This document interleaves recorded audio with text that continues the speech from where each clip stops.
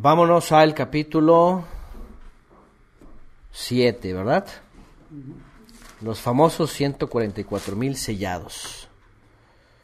Los 144 mil sellados. Déjenme poner el... Ah, no, bueno, no voy a poner ahora...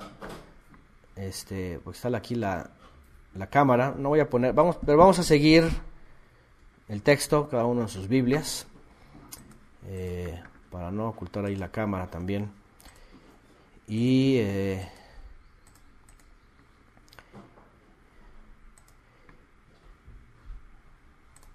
y yo voy a seguir en parte el asunto del PowerPoint que ya tengo de lo que ya dimos.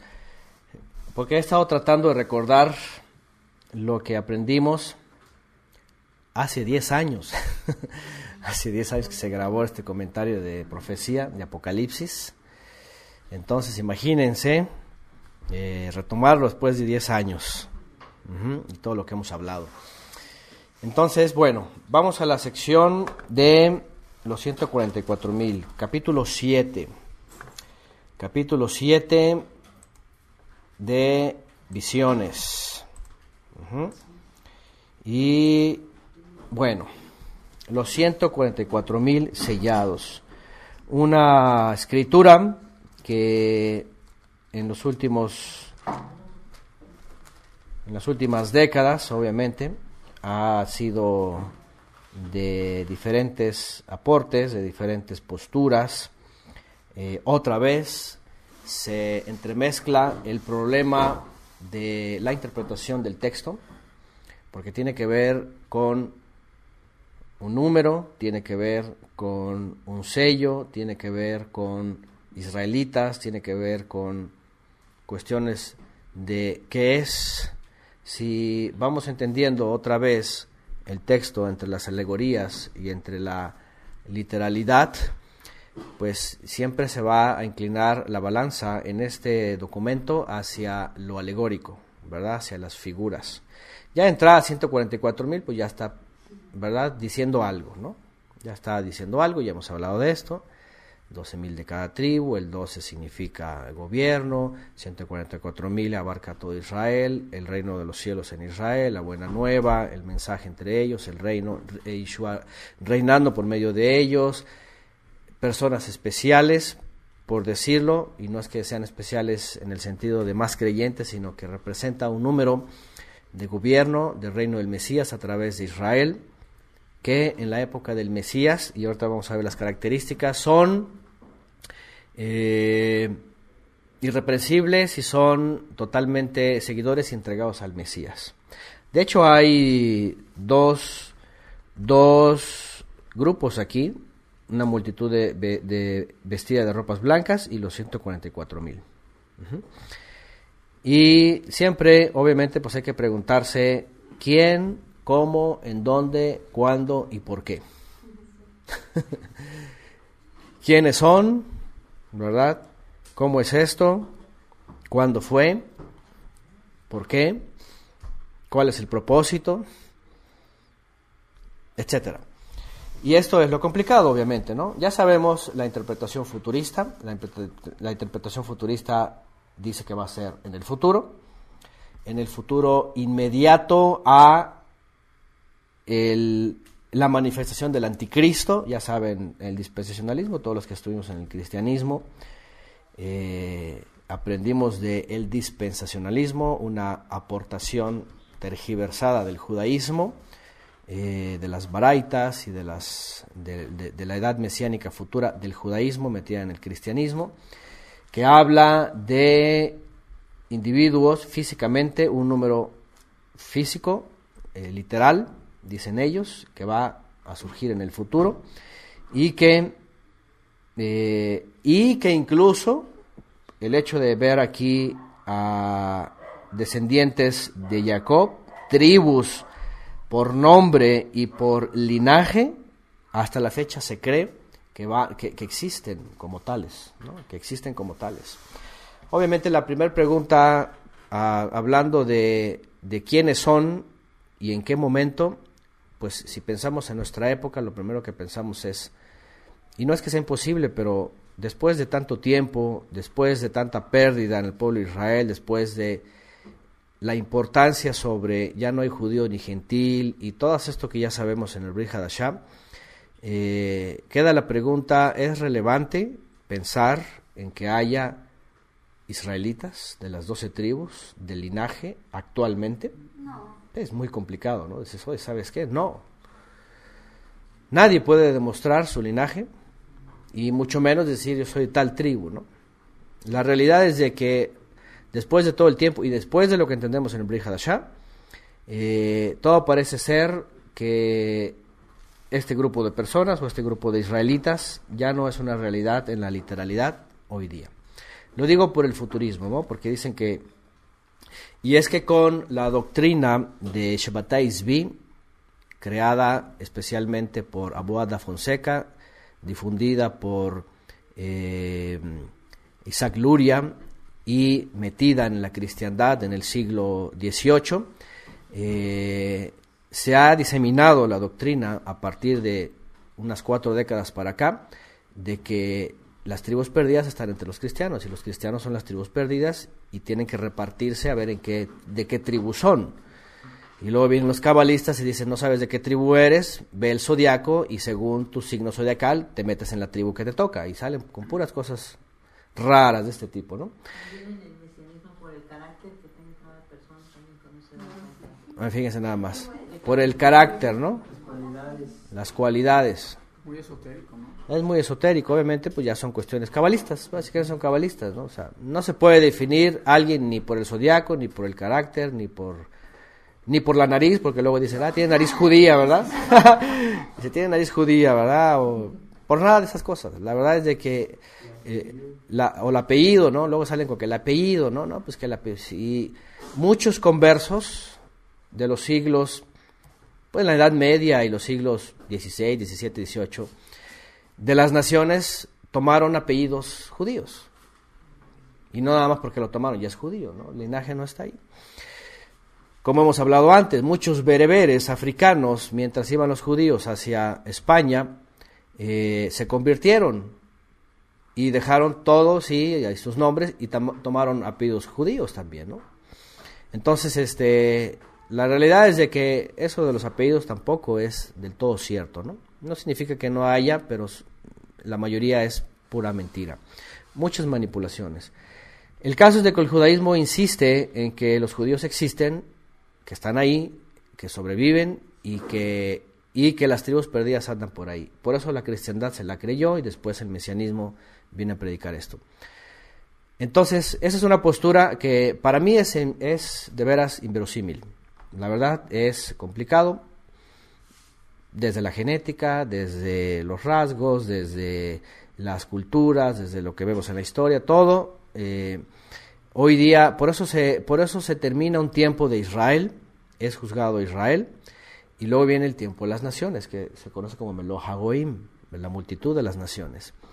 Y eh, todo concluye en eso, porque la novia ya está lista, ya está esperando, dice que ya se, la, se ha vestido de lino fino, limpio, resplandeciente, y eh, la obra está ahora entre las naciones. La semana pasada hablamos de estas personas que ya están ahí que se les dan vestiduras blancas también para la boda y que dice que se tiene que completar el número de sus, de sus eh, consiervos. Entonces, al final, cuando hacemos un análisis general, decimos, ¿sabes qué? Todos esos dos mil años tienen que ver con las naciones. Tiene que ver con gente de las naciones y no tiene necesariamente que ver con Israel. De esta manera, cuando vamos a la interpretación histórica y empezamos a ver los detalles en la historia y sobre todo la participación de los israelitas en el primer siglo, que si tú comparas hace dos mil años con hoy, definitivamente que hace dos mil años sí podías encontrar todavía tribus. Reales o descendientes de las tribus reales. Todavía había aunque hubo una disminución de todo Israel por el exilio, porque hubo mucha pérdida y hubo un remanente, aún así se encontraban todavía las tribus identificadas. Había israelitas en el Brit incluso aparecen de la tribu de Leví, aparecen de la tribu de Yehudá, aparecen de la tribu de Benjamín, por ejemplo, Shaul de Tarso de la tribu de Benjamín, aparecen de la tribu de qué más, de... Hay otro que dice que era de la tribu de... Ay, no me acuerdo. Pues este que estaba en la higuera, ¿te acuerdas? Sentado. Creo que se, se menciona su tribu, ¿no? Natanael creo que era de la tribu de... No me acuerdo. Pero bueno, pero en el Brihadashah sí hay, hay este, detalles en donde se hablan que todavía, de Asher, dice por acá, bueno, no sé, que todavía se identificaban con sus tribus. Se identificaban con sus tribus, sobre todo los levitas. Todavía se identificaban con sus tribus. Es más, la misma historia te dice claramente, y también las crónicas de los judíos, como los romanos, que el libro de los linajes, y, también muchos levitas y también muchas tribus, fueron casi extintas, tanto linaje como los libros de los linajes en la época del asedio romano, porque todos los libros de los linajes estaban en Jerusalén. Fíjense qué interesante. Como el Eterno no solamente dice, se va a acabar el asunto del linaje, va a haber un remanente que crea, va a haber otro remanente inverso, que sea incrédulo, lo que es la higuera, pero el Eterno usa a los romanos para darle fin al asunto de los linajes. ¿Por qué? Porque en el futuro incluso hay una lucha de poderes, ¿no? Para decir, yo soy descendiente de Gilel, yo de Shammai, yo de David, yo de, todos estos, ¿no? Eh, pero el Eterno hace algo tan interesante que los mismos judíos dicen, se perdieron los linajes en la época del asedio romano. Cien años después ya nadie sabía realmente dónde venían, ni quién eran sus padres, sus abuelos, y si venían de qué casa, de qué tribu, ya no tenían idea. Fíjense nada más. Y luego con más conversos, pues menos, ¿no? Ya se perdió el linaje. Porque déjenme decirles algo, el judaísmo cree que el linaje viene por la mamá, cuando la Torah siempre dice que viene del papá. Y obviamente, aunque ellos sigan con el asunto del linaje, este, pues se perdió más cuando vienen hombres de las naciones y se entremezclan y ya no pueden conservar su linaje de tribu, simplemente se pierden. Ah, aquí está Lucas 2.36, estaba también allí cierta profetisa llamada Hannah, hija de Fanuel, de la tribu de Asher, por ejemplo. Bueno, por ejemplo, ella, claramente y sin ningún problema se le identifica su tribu, sin ningún problema, ¿no? Y yo estoy seguro que eh, en todas las en todas las comarcas y las ciudades y los pueblos o lugares de, aquella época de, Judá, cada uno de los que vivía, incluso en el exilio, todavía identificaban su tribu. Lo más seguro es que cada, todavía identificaban su tribu. Pregunta por aquí Elizabeth, ¿qué hay de los Cohen o los Kohanim? De hecho, son los que más desaparecieron. Son los que más desaparecieron en la época del asedio romano y está escrito también en la historia. Dice, sí, los Kohanim casi son extintos. ¿Por? Porque como estaban ahí y servían el templo y estaba la mayoría en Jerusalén, se los acabaron. De hecho, el juicio era más para ellos, ¿verdad? Porque ya habían entorpecido todo el servicio. ¿Por qué hay Kohanim hoy día? Porque otra vez, y esto no es mío, ustedes lo pueden leer en los libros históricos, eh, y lo, lo, hablamos en la clase de los usurpadores. Muchos de origen gentil que se convirtieron empezaron a adoptar el apellido Cohen. Es como si tú te, de pronto te haces judío te, y, dices, no, pues ya no voy a llamar a Antonio Miranda, ¿no? Voy a llamar ahora este, Jacob Hassadi Cohen. Y ya todos mis hijos son Cohenim, ¿verdad? Y, y, entonces va a ser mi hijo Joel Cohen, ¿verdad? Este, Shirley Cohen y Mikal Cohen. No es cierto. Entonces está escrito que muchos se pusieron el apellido de Cohen, porque el apellido de Cohen hoy día, porque los, los eran los ministros. Y se pone el apellido como decir yo vengo del linaje de los ministros, ¿no? Y no es cierto, ¿no? La verdad es de que este, se adjudicaron la gran mayoría esos apellidos y, eh, y cuando ven su ADN, pues es una mezcla de todo, ¿no? A veces ni israelitas son. Entonces, este, Todas estas cosas hoy día son comprobables y más por la genética, ¿no? Y, por otro lado, la pregunta es, ¿es importante el apellido?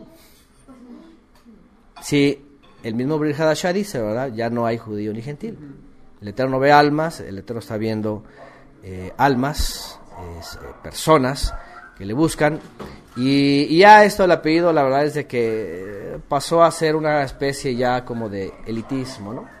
Elitismo. Yo, yo conocí en, en, este, en Guadalajara a unas personas que también presumían, ¿verdad? linaje, aparentemente, ¿verdad? Y que llevaban el apellido de Cohen. Y de entrada, este, de entrada de origen dudoso, y por otro lado, ¿de qué sirve un apellido? Pues si niegan a Yeshua. Incluso que si se dice ser judíos y, no viven la Torah. Comen no kosher, este, etcétera, etcétera. Entonces, ¿qué hay, va? Bueno, dice Iván, mi familia Cohen aquí hay en Nicaragua. Hay por todos lados, pero otra vez está escrito que muchos gentiles que se convirtieron adoptaron los apellidos que les eh, que querían y muchos obviamente por creerse ser muy celosos y creer que venían de Israel de la tribu de Leví se adjudicaban el apellido Cohen. Ya después dicen, ah, somos Cohenim, ¿verdad? Bueno.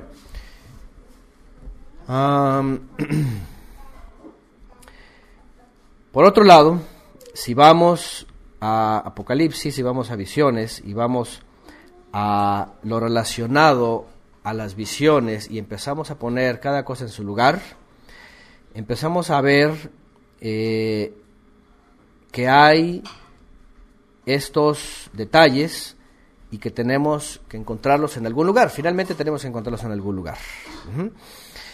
Vamos a leer lo que dice terminamos con el capítulo 6 y estamos y estuvimos hablando de los sellos, ¿cierto? Vimos cuatro jinetes, vimos el quinto sello, eh, acontecimientos históricos, vimos el sexto sello, que es un preámbulo a, eh, obviamente, al séptimo, que tiene que ver con el regreso del Mesías, pero no es desatado el séptimo sello. Antes de ser desatado el séptimo sello, eh, hay un paréntesis y hay una visión aquí que tiene Yohanan. Acuérdense que Yohanan está recibiendo, e incluso los historiadores, como yo dije antes, no se encontró el rollo completo, se encontraron fragmentos de Apocalipsis. Y así como los encontraron, los fueron uniendo. Entonces, imagínate que estás en... ¿Quién podrá sostenerse en pie? Y, y después dices, y después de esto vi cuatro ángeles, ¿y dónde está el otro sello? ¿no? o, o cómo la visión hace un paréntesis y de pronto se detiene de los sellos y te da una visión diferente, ¿no? E, esto es lo desconcertante a veces en el texto, ¿no? Porque dice, a ver, ¿esto sigue realmente del sexto sello o aquí está haciendo un retroceso en el tiempo? Por eso la gran mayoría pone los 144 mil sellados en el futuro. Porque dicen, bueno, si van por sellos y el sello el futurismo no cree que ningún sello se haya destapado todavía. Ellos creen que va a ser en el futuro. Y si no se ha desatado el primer sello, ni el sexto, pues menos han salido los 144 mil. Para ellos es obvio, ¿cierto? Para cualquiera podría ser obvio, ¿sabes qué? Pues si no se han desatado los sellos, pues menos los 144 mil. Pero por otro lado, si tú ves los detalles de los 144 mil, dices, a ver, espérame, pero si todo eso no coincide con el tiempo, la buena nueva, lo que se dijo de las almas, de que ya no hay linaje y todo eso, en donde pongo un grupo de personas con linaje bien identificados, si hoy día ya no me caben en la historia. Aquí es donde entra eh, el análisis de cómo se juntó este rollo o estos rollos, cómo fueron acomodados y preguntar al texto si esto tiene que ver con un futuro o tiene rasgos de un pasado. Cuando vemos esta visión que dice, después de esto vi a cuatro ángeles en pie sobre los cuatro ángulos de la tierra, que estaban deteniendo los cuatro vientos de la tierra, para que no soplase viento alguno sobre la tierra, ni sobre el mar, ni sobre ningún árbol, tenemos un primer detalle.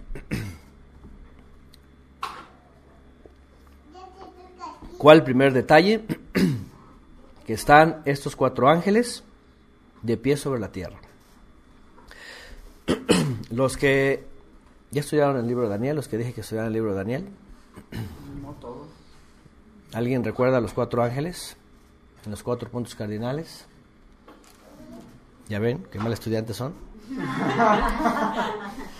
No se crean, es muy complicado a veces recordar eso. en, Daniel estudiamos en el capítulo 7, si no me lo recuerdo, cuando tiene visiones Daniel, y está hablando de hecho sobre el procedimiento de cómo las bestias están interactuando en la historia de la humanidad. Eh, dicen que actúan con el permiso del Eterno y el permiso del Eterno está basado en cuatro seres que están en los cuatro ángulos de la tierra, que ellos permiten o detienen los vientos de la tierra, lo cual significa este, las guerras. Los, vientos tempestuosos significan eh, las guerras. ¿Se acuerdan que en, estudiamos en los profetas que dice que viene como un viento fuerte desde el oriente, cuando hablaba de los babilonios, o de los, de los caldeos o de los, o de los asirios.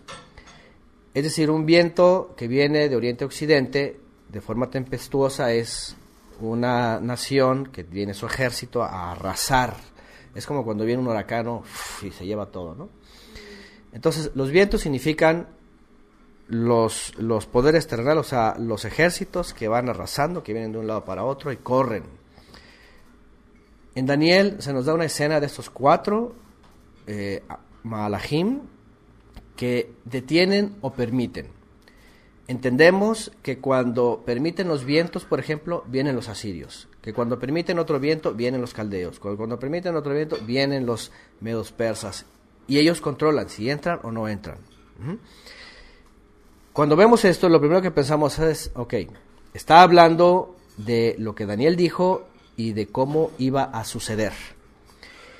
Y cuando dice que estaban sobre los cuatro ángulos de la tierra y que detenían los cuatro vientos de la tierra para que no soplasen viento alguno sobre la tierra, ni sobre el mar, ni sobre ningún árbol, entendemos que es antes de que se desaten los sellos antes de que empiece la actividad profética que ya Yohanan está viendo en visiones. Es decir, lo que tenemos que pensar es, ok, aquí tenemos un primer dato. Si están esos cuatro y todavía no ha empezado nada, están impidiendo que la, la acción terrenal en la historia sea desatada, entonces tenemos que retroceder en el tiempo. Tenemos que movernos porque tú dices, no, ¿dónde voy a meter eso? No puedo meter esto en el futuro. ¿verdad? Porque toda la historia ya está, ya se desataron muchos eventos, guerras y sobre todo las guerras mundiales, ¿verdad? Es decir, ya los vientos ya estuvieron moviéndose en toda la historia, desde que llegaron este los ¿cómo se llama? los emperadores romanos, por ejemplo, en posterior al, 70 y, y, la, y la mezcla entre el hierro y el barro, todos esos 10 imperios que se entremezclaron con Roma y que tres cayeron y que se peleaban entre ellos. O sea, ya ella está desatado. Eh, Constantino hizo ejército, después el Sacro Imperio Romano que se le llama, después viene todo el asunto de lo que estudiamos de los alamares, de los sajones y de todos estos. Este, ya son vientos desatados. Entonces tú dices, eso tiene que ser antes. Entonces, primer parámetro, Aquí está detenido todo. Que no sople, que no comience nada sin que antes, y aquí viene el siguiente punto. Dice, vi también otro ángel que subía de donde sale el sol y tenía el sello de Elohim vivo. Y clamó a gran voz a los cuatro ángeles, vean, a quienes se les había dado el poder de hacer daño a la tierra y el mar, diciendo, no hagan daño a la tierra, ni al mar, ni a los árboles, hasta que hayamos sellado en sus frentes a los siervos de nuestro Elohim. ¿Se dan cuenta? Es decir, viene un ángel y les dice, espérense tantito. Antes de que empiece y se desate todo el asunto, tienen que ser sellados los siervos de Elohim. Entonces tú dices, ok, entonces aquí estamos hablando de que previo a que se desaten los sellos y que vengan toda la turbulencia de los vientos en estos dos mil años, hay un momento en donde son sellados estos.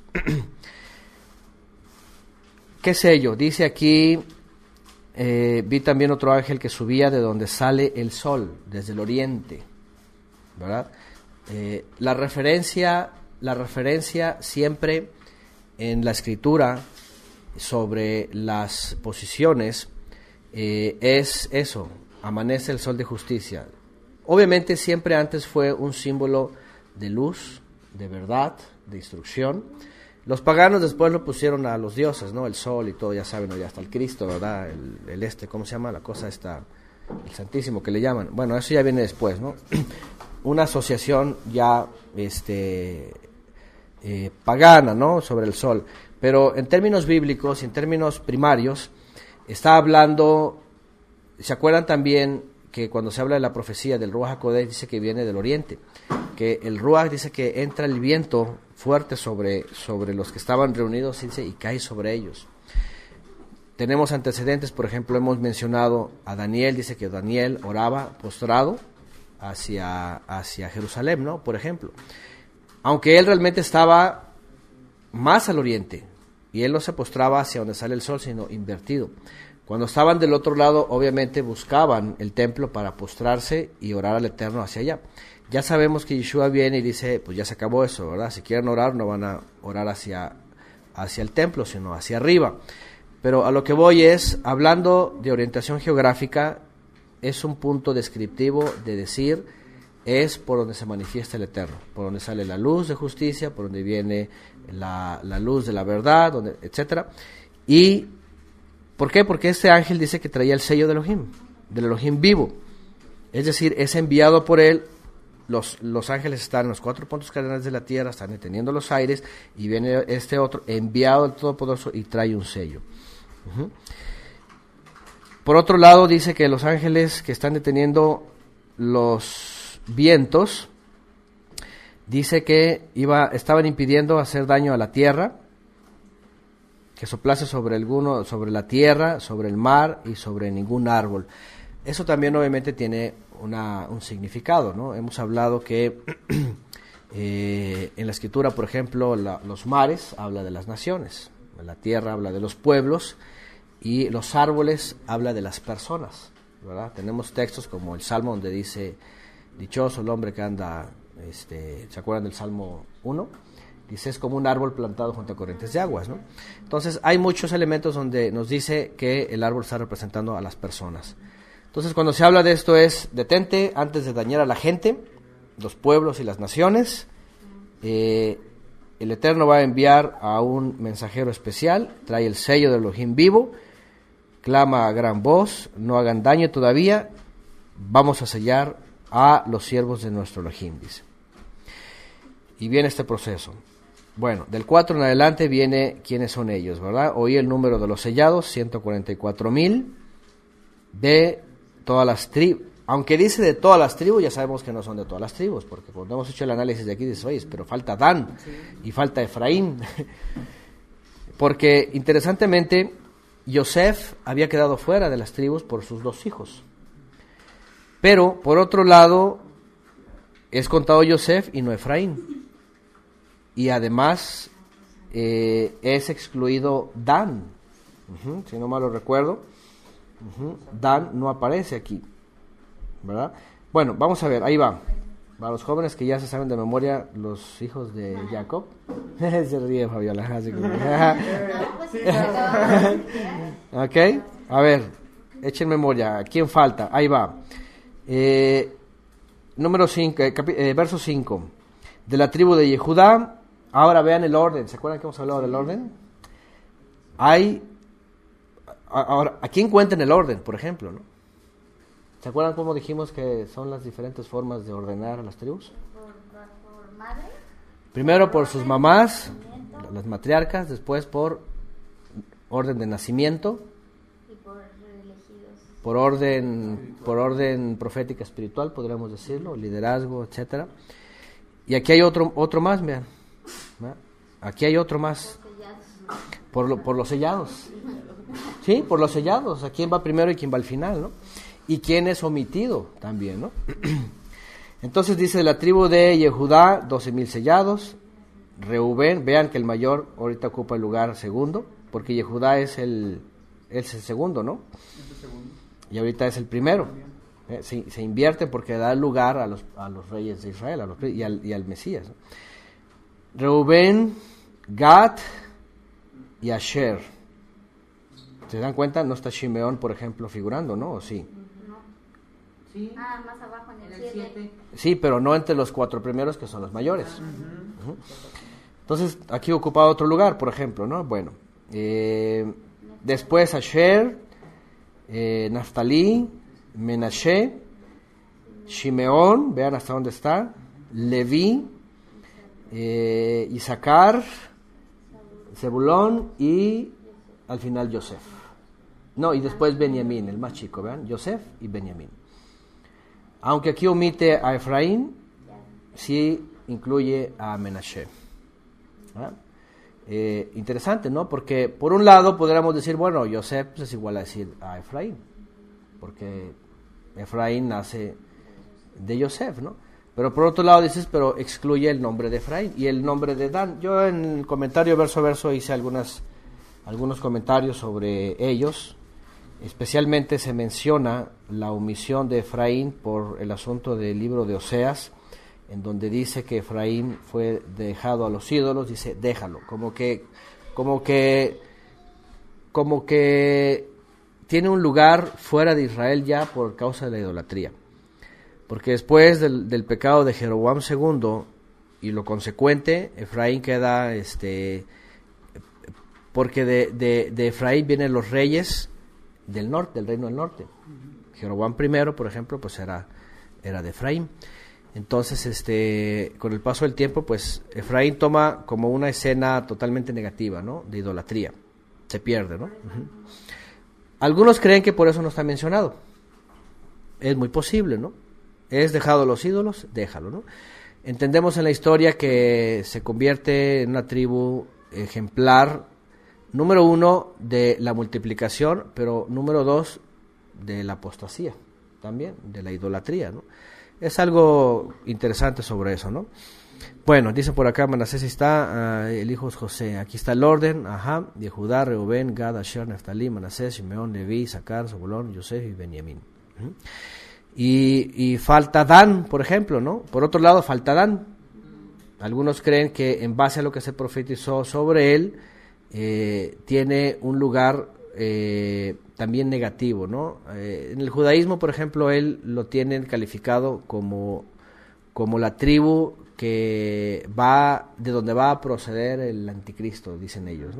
El Loma Shiach, ¿no? Porque habla de la serpiente que muerde el calcañar, ¿no?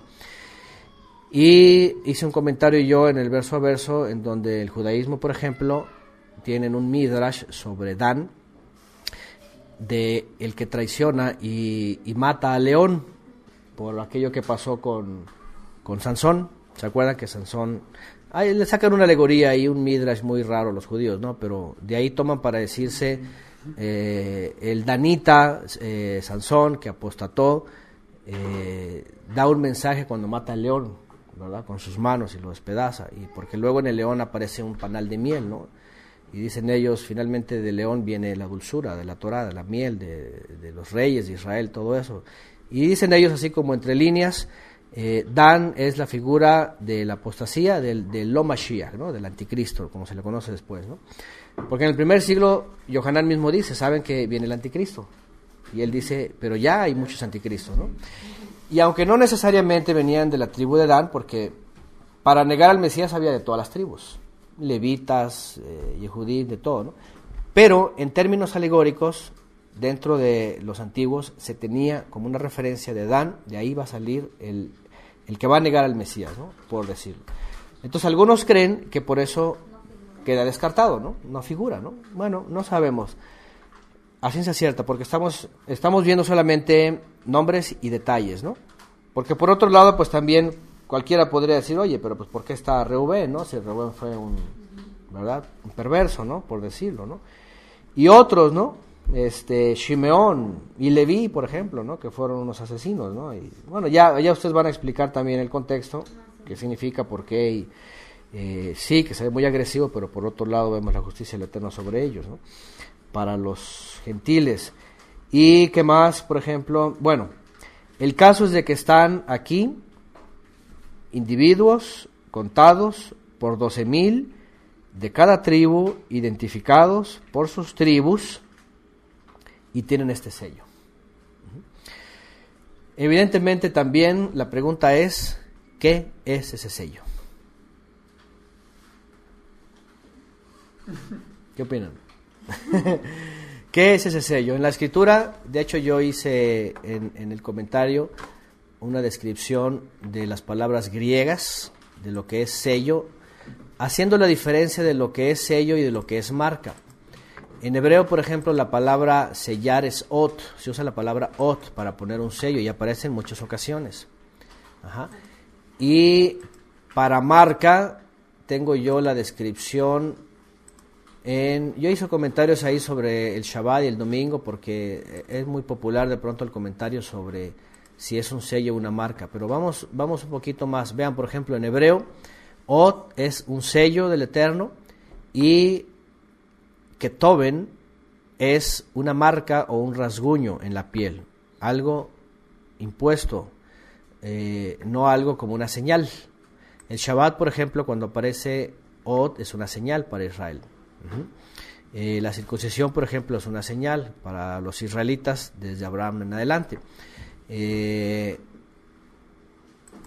y bueno, en, en griego aparecen dos palabras que una es eh, que es estampar, con anillo o marca privada, es aquí para seguridad o preservación, guardar, secreto, atestiguar, señalar, sello, sellar.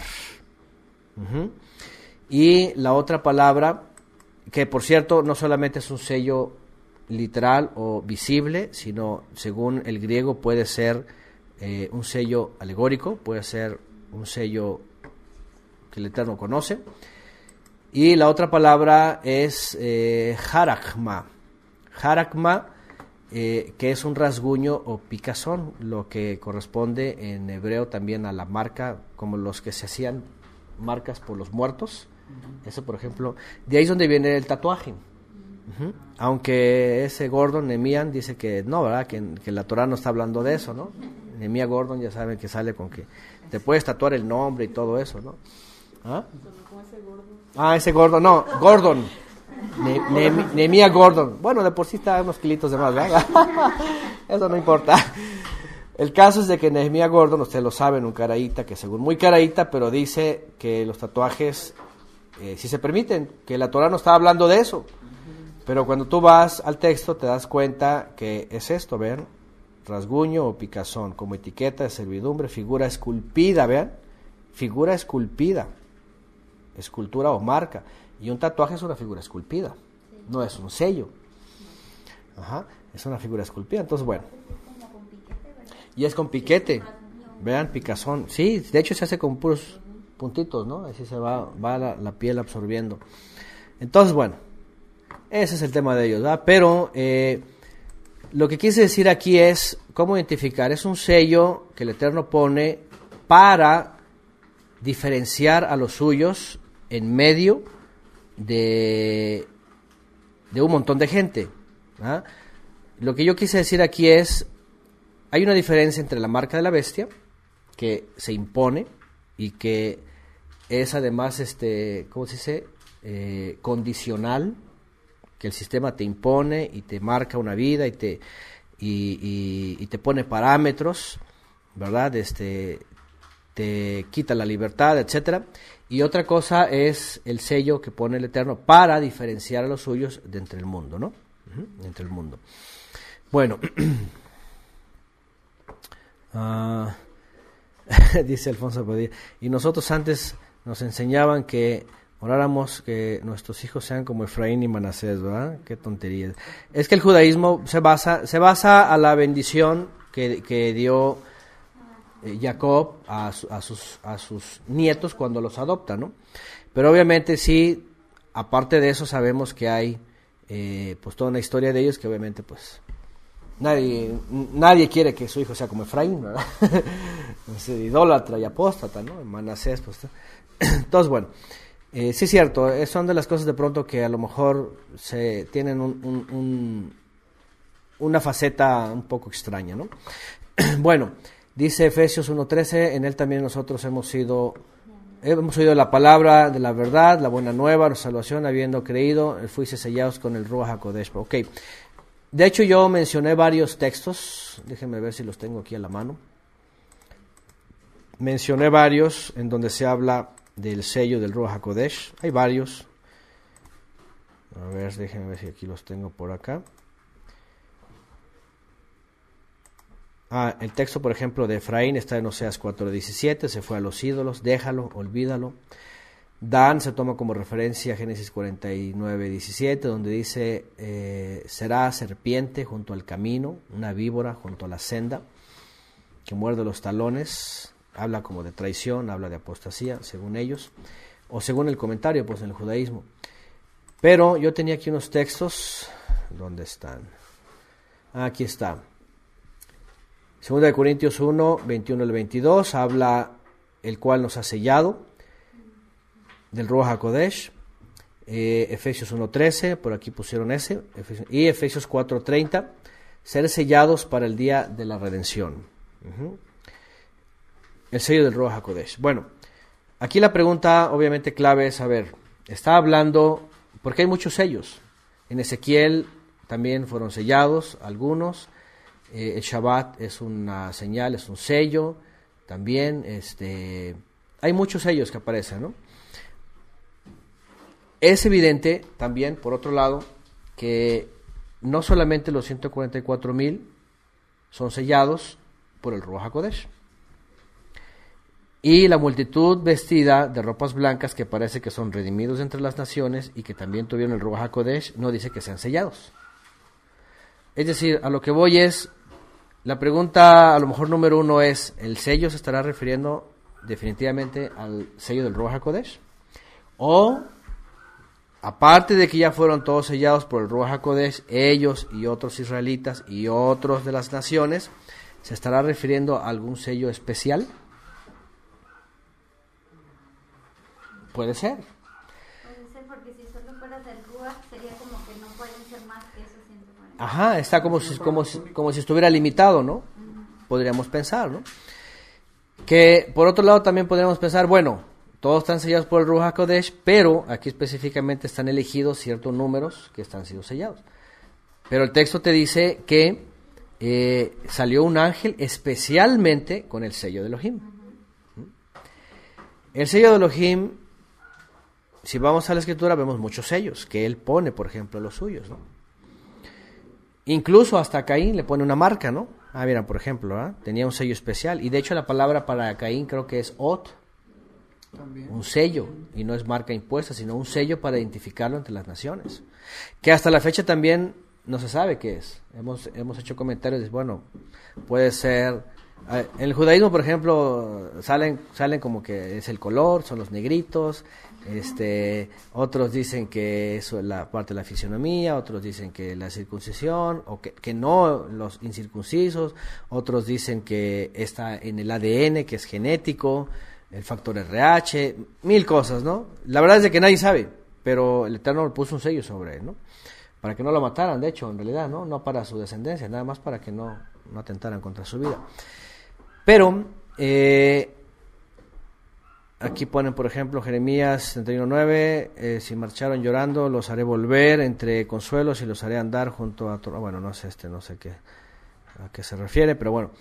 El punto aquí es, podríamos pensar que es el sello del Ruach HaKodesh, pero por otro lado, realmente todos los creyentes en el primer siglo, especialmente los israelitas que le seguían a Yeshua y que no era un número limitado, que tampoco aquí significa que es un número limitado, sino que también entendemos que es un número alegórico, porque hablar de 144 mil no significa que en el primer siglo, por ejemplo, si nos posicionamos en el primer siglo y decimos son ellos, en aquella época, tampoco podemos cerrar los ungidos por el Roja Kodesh entre los israelitas y decir eran 144 mil nada más.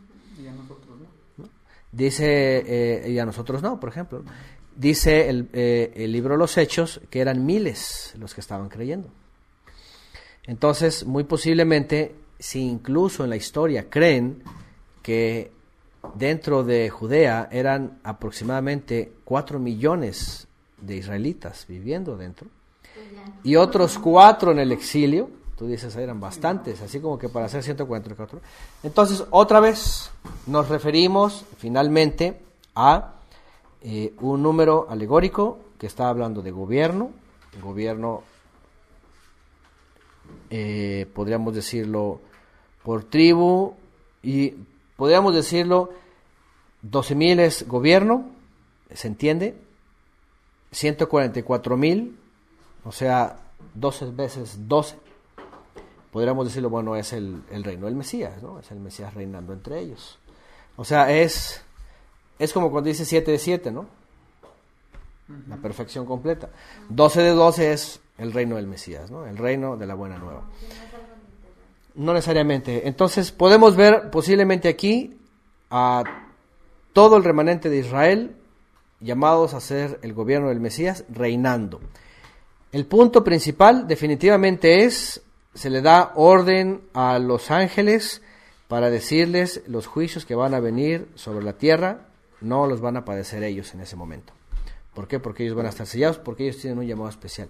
Y eso es lo que vemos. Lo que vemos realmente en el primer siglo es de que aquellos que fueron ungidos y llamados dentro del pueblo de Israel no tenían impedimento. Obviamente no estoy diciendo que nunca murieron, porque, por ejemplo, Shaul de Tarso, de la tribu de Benjamín, finalmente murió, ¿no? Pero tuvo su tiempo y, y no necesariamente fue dañado, por ejemplo, con el primer evento en contra de su vida, ¿no? Bueno, es, eh, eso es lo complicado de, estos libros. ¿no?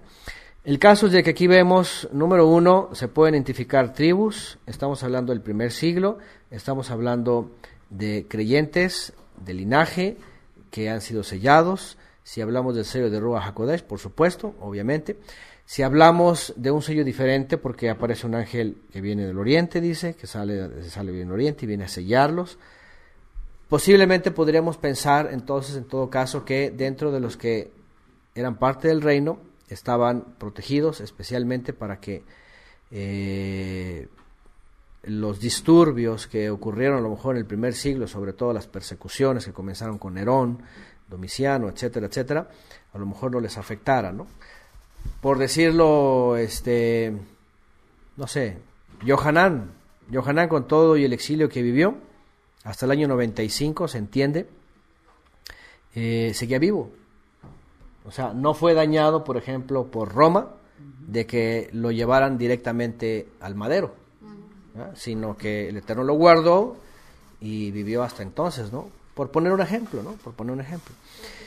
¿Y Johanán era de la tribu de qué? De Leví. De Leví. Era de la tribu de Leví. Bueno, 12 dice acá, número de gobierno, autoridad, que reinan con el Mesías, ajá. Simboliza algo incontable, 144 mil, ¿no? Muchos millares. Por otro lado, tenemos a otro grupo de personas, verso 9.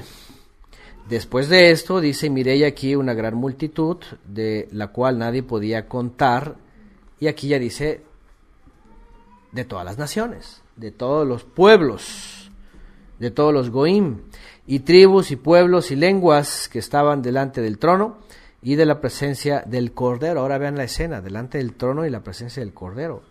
Esa escena en donde se vieron los 24 ancianos, los, cuatro seres vivientes, ahí de pronto ya aparece. Primero dice que estaban debajo del altar, ¿se acuerdan la semana pasada que leímos? Debajo del altar. Y después dice, aquí dice que ya están en la presencia. ¿Pero por qué? Porque están diciendo, clamaban a gran voz diciendo, la salvación pertenece a nuestro Elohim, que está sentado en el trono, y al Cordero, ¿verdad? Que siempre está a la diestra.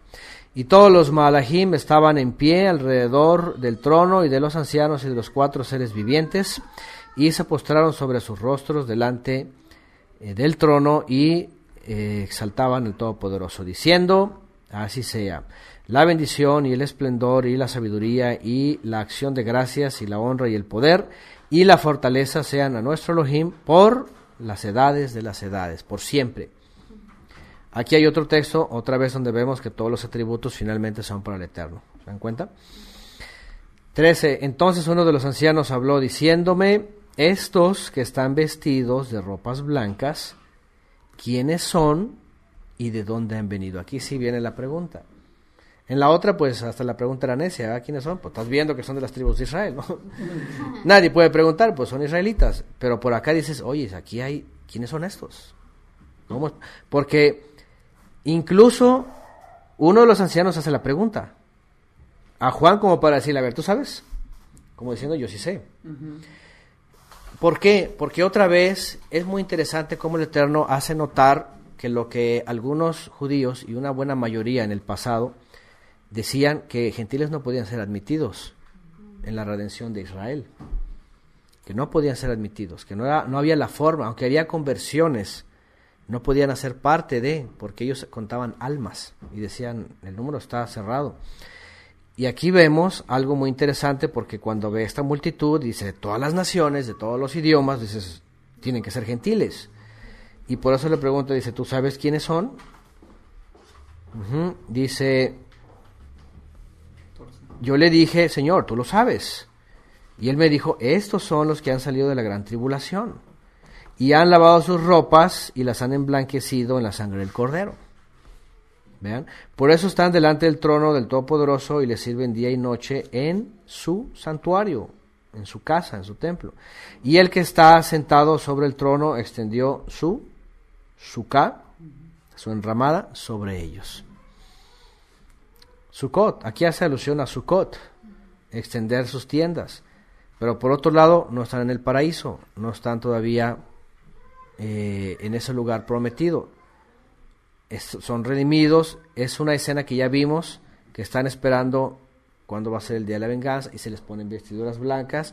Primero estaban debajo del altar y luego se les ponen vestiduras blancas y aquí ya aparecen enfrente del altar pero no está en el paraíso todavía, ¿no? No en la escena que conocemos como el día de la redención, en donde finalmente entramos al paraíso.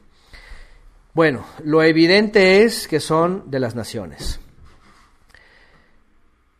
de todas las naciones.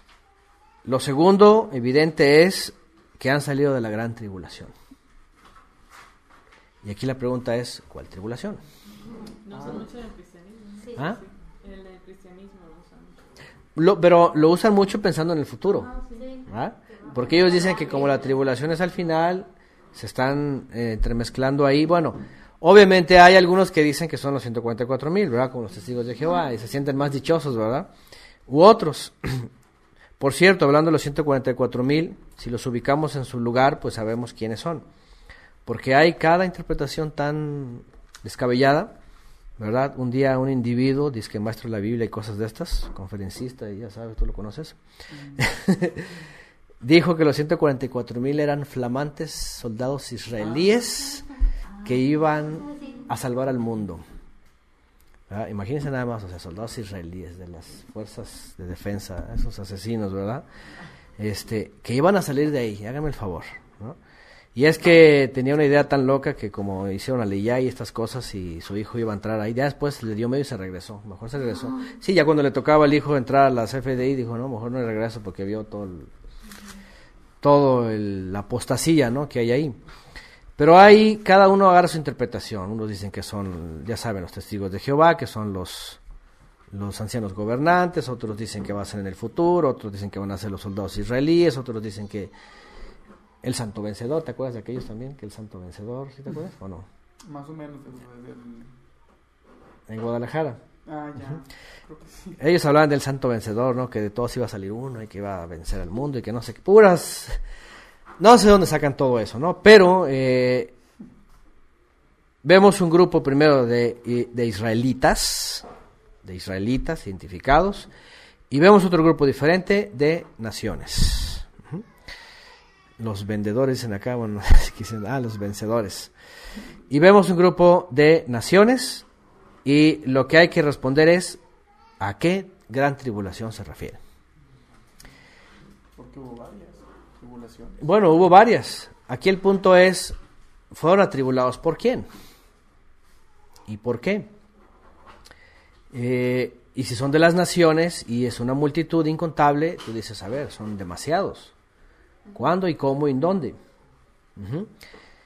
Lo más interesante es de que todos los creyentes, por ejemplo, de origen gentil, que estaban creyendo tanto en Judea como en la diáspora, hasta en Roma se sabe, en la tradición cristiana se les conoce como cristianos, que no, porque no eran todos judíos tampoco los que padecían en el Coliseo, por ejemplo, pero sí eran algunos de origen gentil que se habían convertido y profesaban la fe del Mesías.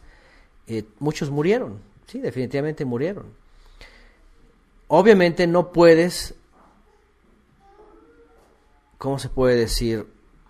Pensar cuando lees gran tribulación sin desconectarte de Mateo 24, ¿verdad? Que dice la gran tribulación, la cual nunca antes había ocurrido, ¿no? Pero tú por otro lado dices, a ver, espérame, pero en Lucas 21, Lucas dice más claramente que la gran tribulación, cual nunca había ocurrido antes, no era para los gentiles, sino era para los judíos que vivían en aquella época en Judea y especialmente en Jerusalén, y que la vivieron. Pero por otro lado dices, ok, es para ellos, no para los creyentes. Y cuando vamos a Apocalipsis, ustedes saben que cuando comenzamos, Yohanan dice, yo estaba en la, la isla de Patmos por causa de la palabra y del Mesías, dice. Y él manda un saludo a los que están viviendo la tribulación. Entonces aquí entendemos que hay dos. Una es la que fue, la que mencionamos ayer, por cierto, en Isaías, cuando se refiere a Yeshua, o cuando se refiere a Isaías y luego Yeshua al día de la venganza para Jerusalén.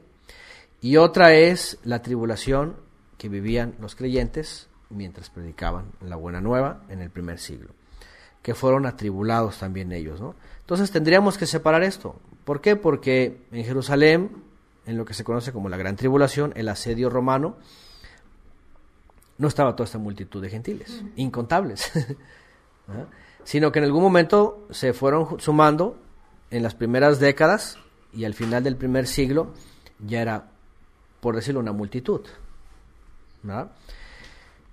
Obviamente en, en, el futurismo dicen, esto es al final, ellos dicen eso es al final porque pues los 144 mil y luego, porque ellos salen una gran tribulación en los últimos tiempos. ¿no?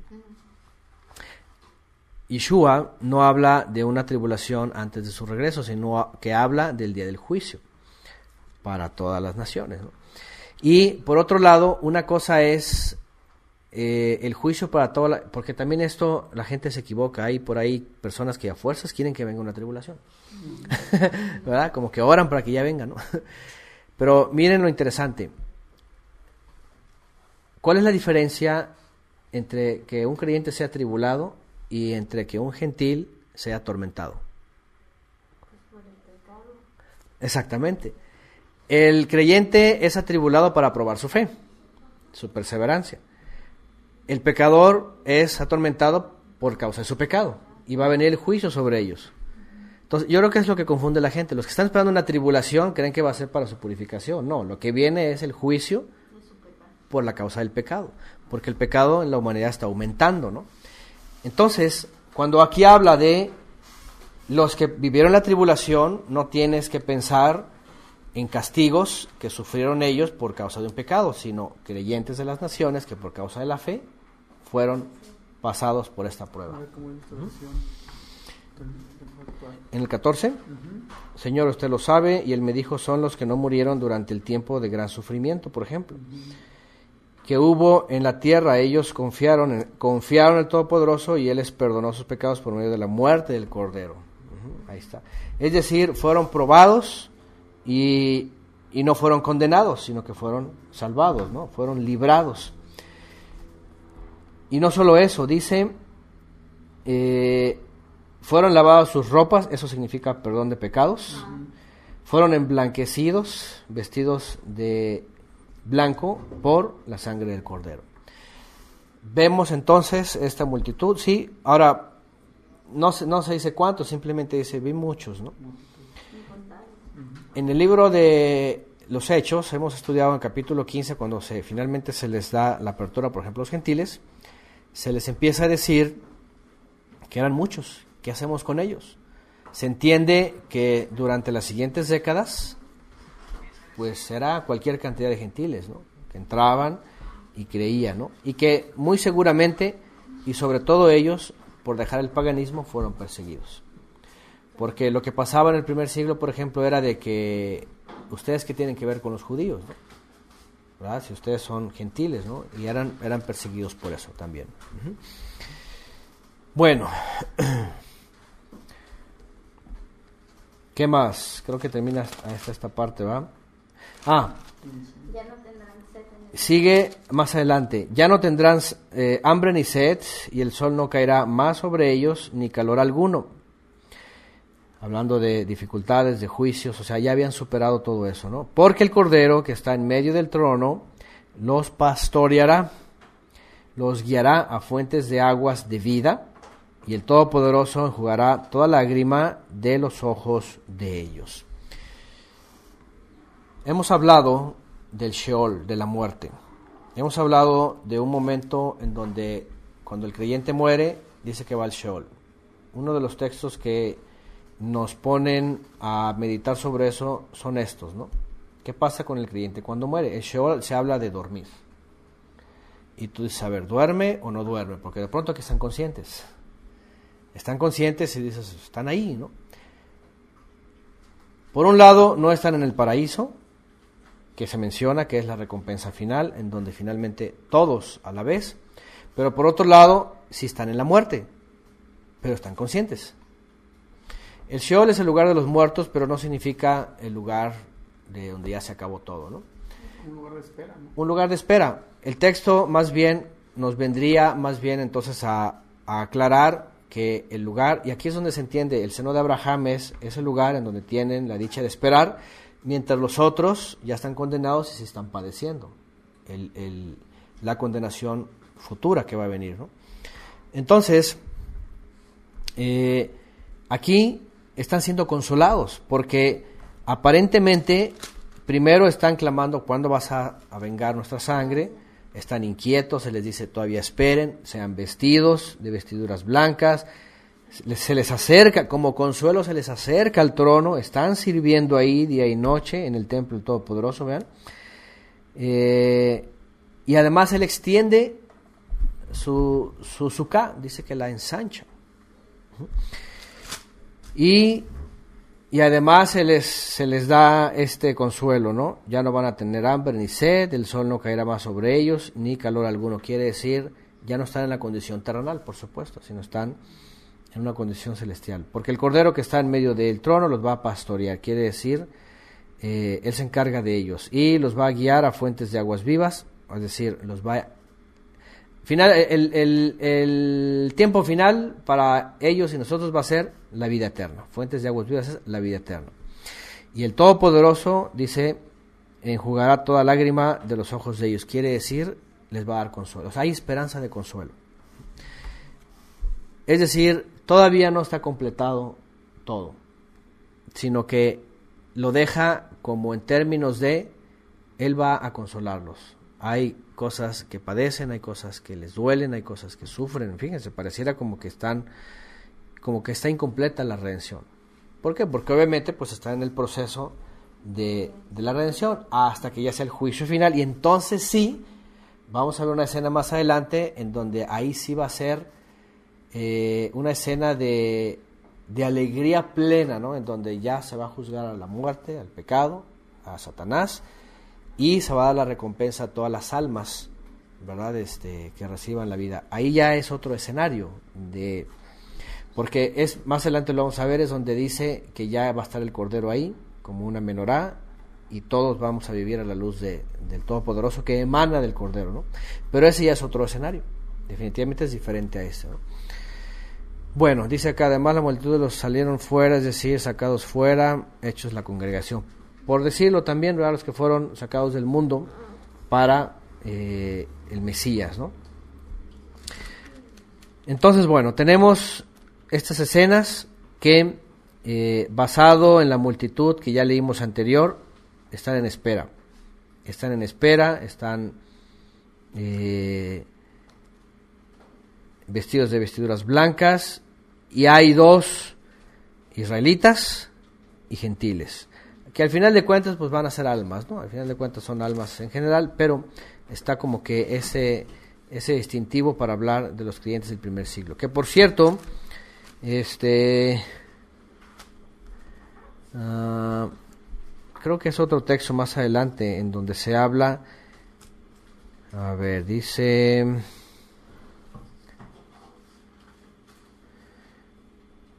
Me acordé de un texto donde dice que estos siguen al Cordero por donde quiera que va, pero creo que no es aquí, ¿verdad? O sí es aquí. Que más adelante. Que se habla de los, de los mismos, ¿no?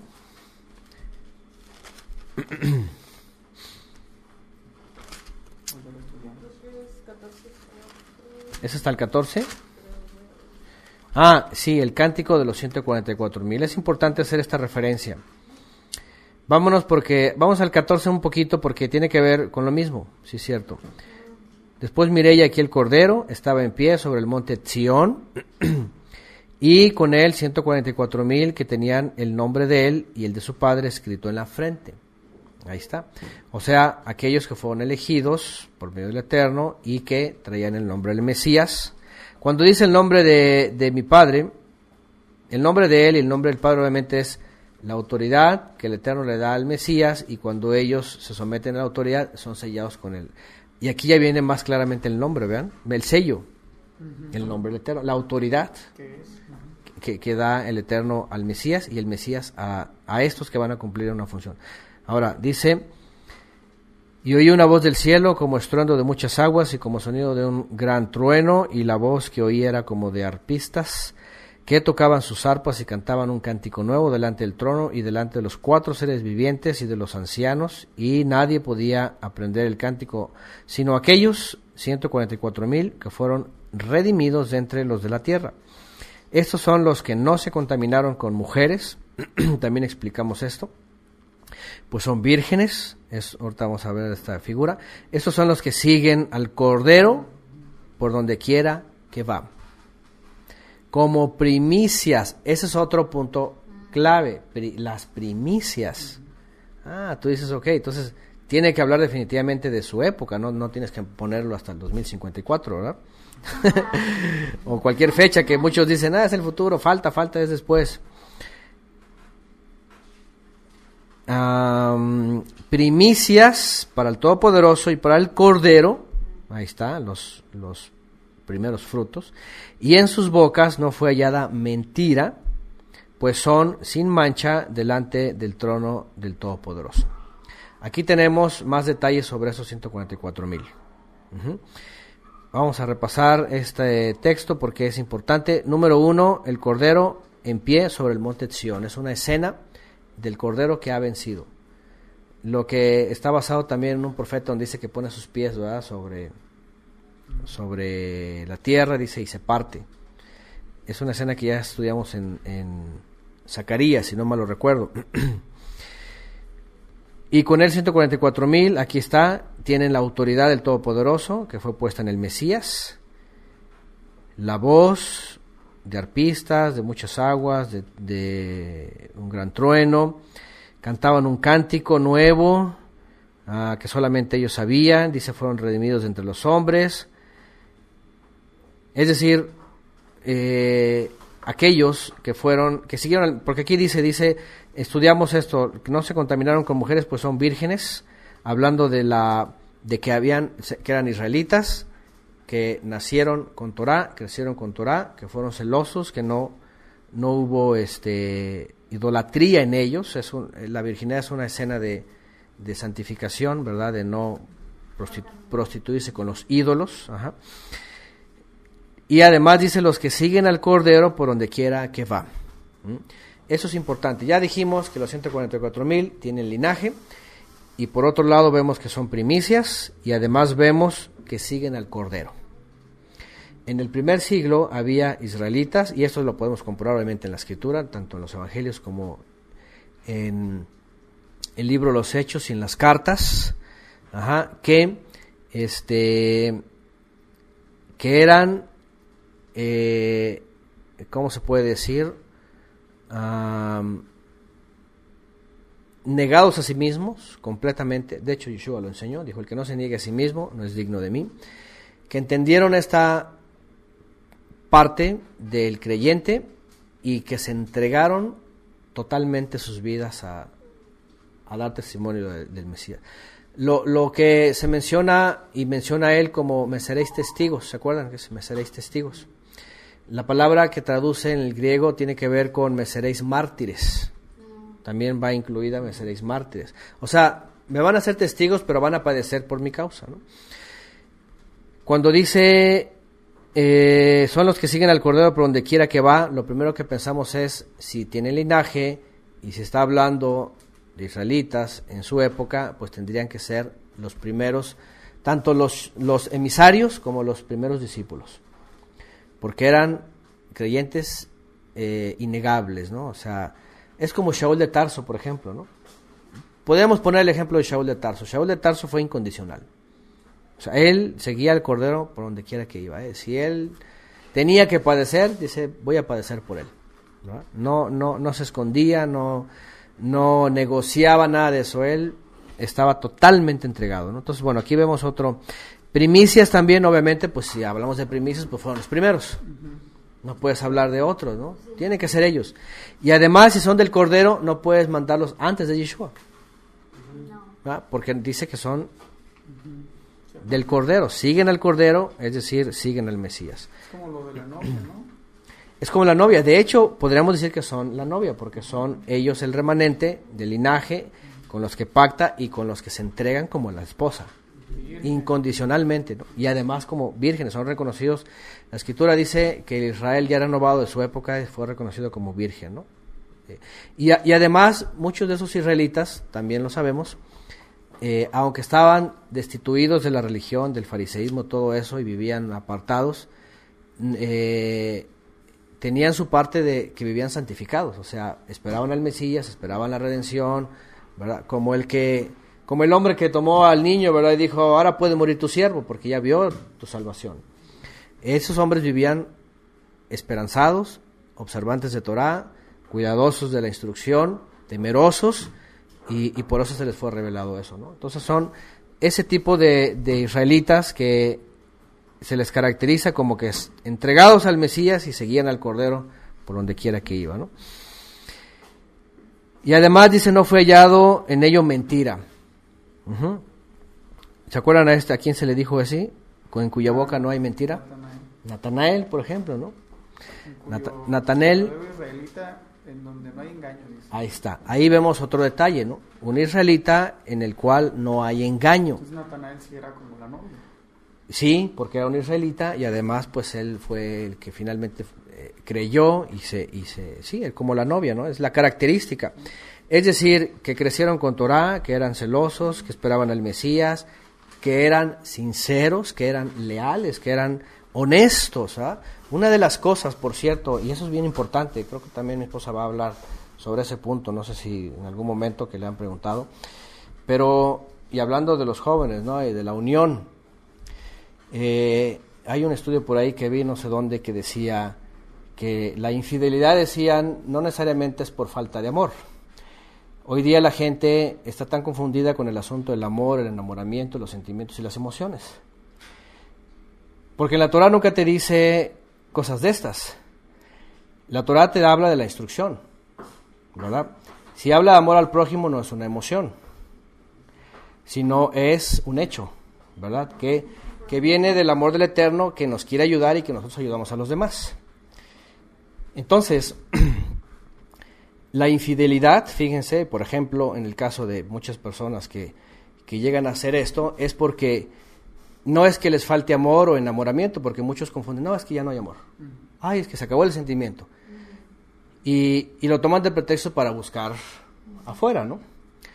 Pero la Torah dice que, por ejemplo, en el caso de Israel, hablando de Israel como mujer, en el momento que quitó la instrucción, se acabó el temor y el respeto y eh, la lealtad y la, ¿cómo se dice? Y la fidelidad. Y entonces por eso van y buscan al ídolo, ¿me entienden? Entonces es falta de instrucción. Cuando no hay instrucción, no hay temor y lo que le pasó a Israel es, fue deshonesto y entonces se fijó en los ídolos. Entonces, fíjense que la Torah siempre habla de valores, de ética. O sea, la fidelidad comienza con la lealtad. ¿verdad? Con la honestidad, con la verdad. Cuando no hay eso, entonces por eso la gente cae en la infidelidad. Un texto en el griego, en el nuevo pacto, dice que eh, en los últimos tiempos el amor de muchos se enfriará. Creo que dice la palabra. Mateo 24, Anomía, de, o sea, una apostatarán, Ajá. anomía, iniquidad. El amor de muchos se enfriará. Y tiene que ver con eso. Ajá. Cuando, y por eso, por ejemplo, en la cristiandad, que son casos que todos vemos, que el otro día yo estaba hablando de casos que pasan en las iglesias y una hermana me escribió y me dijo, no es nada, dice. En la iglesia donde yo estaba, mi pastor le fue infiel a su esposa. Dice, pero se fue con otro hombre. o sea, dice, dice, usted hermano vivió en iglesias imperfectas, pero no era nada. Dice, no hombre, en mi iglesia pasó así, se fue con otro hombre, imagínense nada más. O sea, ya te dices... bueno, tampoco lo otro es aceptable, ¿verdad? Que se vaya con otra mujer, ¿verdad? Pero ya que se vaya con un hombre, esto, esto ya está gravísimo, ¿no? Entonces, eh, a lo que voy es eso. Fíjense, por ejemplo, Israel cayó en un sistema iglesiero, religioso, en donde cuando empieza a dejar la Torah, se acaba la fidelidad, se acaba la lealtad, la honestidad, y como ya no hay temor, obviamente, pues como que queda eh, eh, ciega esa parte y se le hace muy fácil desviarse a los ídolos. Entonces, por la falta de instrucción, ¿no? Cuando leemos aquí que dice que no hay mentira en ellos y que están Son sin mancha. son sin mancha y son vírgenes, significa que no solo crecieron con la instrucción, quién sabe quién lo aventó, no solo crecieron con la instrucción, sino la instrucción ha hecho efecto en sus vidas y han tenido la capacidad por la instrucción del Eterno a ser temerosos y a ser fieles y a permanecer esperando en lo que todos ellos, como un remanente, esperaban que finalmente el Eterno hiciera. Cuando viene Juan el Bautista, dice que vino a preparar un pueblo bien dispuesto. Todo ese Israel que escuchó dijo, ya es hora, tenemos que prepararnos, porque el, el esposo ya llegó. Un amigo esposo. Y era un amigo del esposo, ahí viene el esposo. Por eso él dice, es que yo no soy, es él. Y es necesario que yo vengo, porque él es el esposo. Igual todos los que lo identificaron decían, él es la figura importante, ¿no?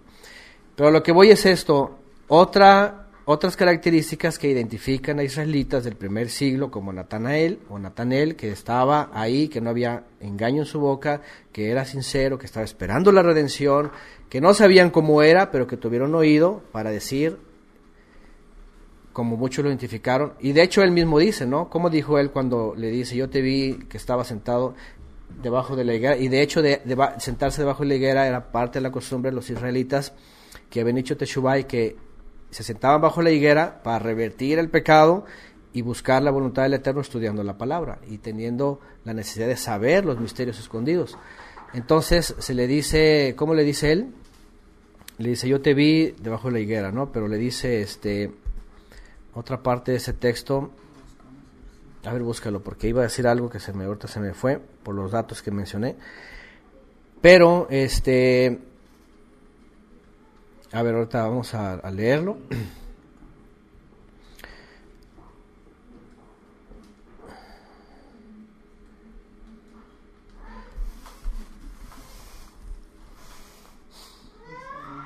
No me acuerdo dónde era. Está en Juan, capítulo 3, creo, si no mal lo recuerdo. No, pues es el 4. Ah, sí, cierto, es el primero. Juan 1, 48. Ay. Lo busco aquí también, a ver, vamos a ver, porque hay un detalle ahorita que, es, que se me vino a la mente y de pronto se me nubló la mente. y leyendo lo voy a acordar. Juan 1, Creo que es del 42. Desde el 43. ¿no? Ah, ok, desde el 43. El siguiente día que hizo Yeshua ir a Galilea y yo a Felipe le dijo, sígueme, Felipe Bethsaida, ajá. Y Felipe yo a Natanel y le dijo, hemos hallado a aquel, ah, ya, ya sé que lo que iba a decir, quien escribió Moisés en la Torah, así como los profetas, a Yeshua, el que es hijo de Yosef de Nazaret. Natanel le dijo, de Nazaret puede salir algo bueno, Felipe le dijo, ven y ve. Cuando Yeshua vio a Natanel, dice que se acercaba, dijo, él, he aquí un verdadero israelita, en quien no hay engaño. Aquí está un detalle, ¿verdad? Y dijo Natanel, ¿de dónde me conoces? Respondió Yeshua y le dijo, antes que Felipe te llamara, cuando estabas debajo de la higuera, te vi. Esto ya también fue explicado. Respondiendo Natanel dijo, Rabí, vean, mi maestro, o, es una, palabra, una expresión de decir grande mío, ¿no? Rab realmente es una palabra de reconocimiento grande. Tú eres, y vean como lo, que dice este hombre, sin engaño, verdadero, verdadero israelita, que había hecho Teshuvah, que buscaba la redención también, está implícito todo esto. Tú eres el Hijo del Todopoderoso. Tú eres el Rey de Israel. ¿Se dan cuenta? Es decir, cualquiera que esperaba lo mismo sabía que iba a venir el Hijo del Todopoderoso, el Rey de Israel. El Rey de Israel. Porque muchos dijeron, no, ese no es rey. A ver, eres rey, bájate del madero, ¿no? Hay puras cosas de estas, ¿no? Y bueno, ya viene lo otro, respondió Yeshua y le dijo, porque te dije, te vi, cosas mayores verás, etcétera. Ah, el cielo abierto, ah, y bueno, también se le dice esto, ¿no? De aquí en adelante verás el cielo abierto y a los ángeles de Elohim que suben, y ya bueno, ya lo hablan los muchachos también sobre la escalera de Jacob, que Yeshua representa, o la escalera representa al Mesías y todo lo que ellos vieron, ¿no? Pero importante es esto, todo israelita fiel, temeroso, que buscaba el Eterno, que se sentaba bajo la higuera significa escudriñar, a, saber la respuesta, a saber el momento del advenimiento del Mesías, eh, sabía quién era, sabía que iba a ser el rey, el que había hablado Moisés, etcétera. Y voy otra vez a Apocalipsis 14 porque esto nos da muchas, muchas claves sobre, sobre, sobre quiénes eran esos 144 mil en el primer siglo temerosos, fieles, eh, primicias, eh, no, no, tenían mentira, o sea, eran, eran honestos, eran sinceros, o sea, tenían la Torah, pues. Y eso es algo que lamentablemente en la religión pues falta. Cuando no hay Torah, por muy, por muy que sean, y cada domingo y religión, y sermón tras sermón, y lo que sea, cuando no hay Torah, es como un vacío en la mente en donde puedes asomarte y como que crees que nadie te ve.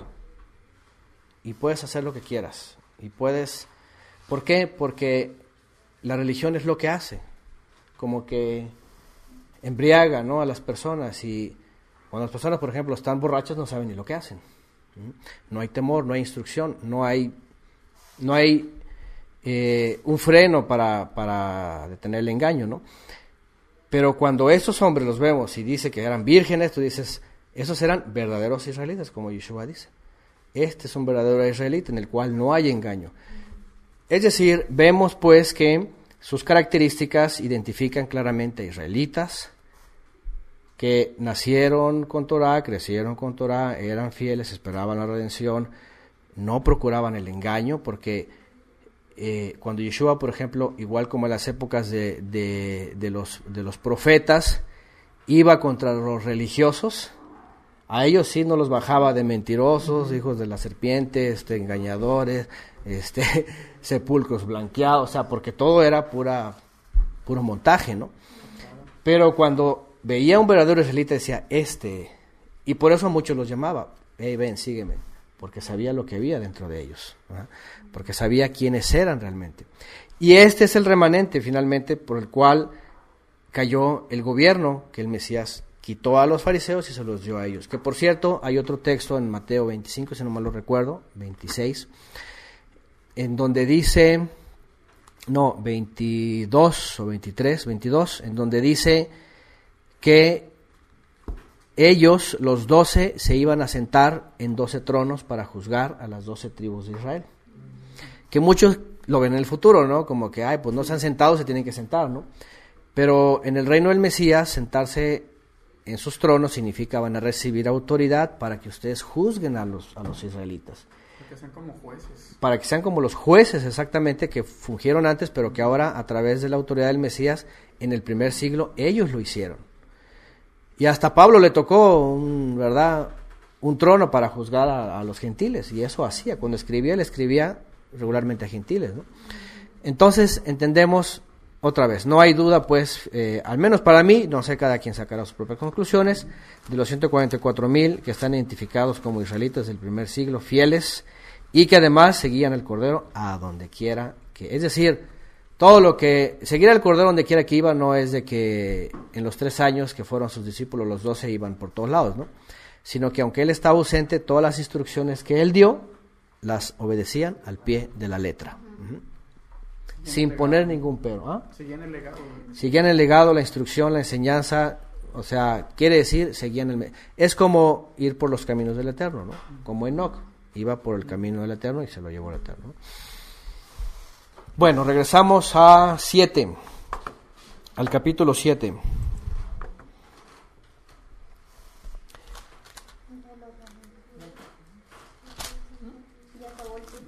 Ajá, bueno, para terminar otra vez voy a repetir lo último sobre los esta multitud, el cordero que está en medio del trono, los va a pastorear y bueno, esto ya vimos ¿verdad? sobre esa, ese consuelo mientras termina todo el, el, este, el proceso de redención de las naciones. Capítulo 8, se cierra el paréntesis y luego vemos el séptimo sello. Ya vimos los, los sextos, los, los seis, vimos el sexto, y luego viene la visión del séptimo. Aquí yo es donde tengo eh, personalmente la inquietud sobre cómo fue acomodado los, los, las partes del documento y que seguramente esto a lo mejor estuvo eh, antes de lo que acabamos de leer. ¿no? Cuando abrió el séptimo sello se hizo silencio en el cielo como por media hora. En el comentario hice algunos cálculos sobre los tiempos alegóricos, no necesariamente horas humanas, y eh, es un periodo donde de pronto se detiene la actividad histórica, como que hay un espacio, y dice, y vi a los siete ángeles que estaban en pie ante el Todopoderoso y se les dieron siete trompetas, siete shofarot. Otro ángel vino entonces y se paró ante el altar con un incensario de oro y se le dio mucho incienso para añadirlo a las oraciones de todos los consagrados sobre el altar de oro que estaban delante del trono. Y de la mano del ángel subió a la presencia del Todopoderoso el humo del incienso con las oraciones de los consagrados. Y el ángel tomó el incensario y lo llenó del fuego del altar y lo arrojó a la tierra y hubo truenos y voces y relámpagos y un terremoto. Bueno, cosas que, imágenes que vemos y decimos, ¿y ahora qué es esto? ¿Y ahora qué es esto? Déjenme leer un poquito el 6. Y los siete, el verso 6. Y los siete ángeles que son los mismos. Ahí están los siete ángeles. Los siete ángeles que tenían las siete trompetas se dispusieron a tocarlas. El primer ángel tocó la trompeta y hubo y empiezan muchos acontecimientos.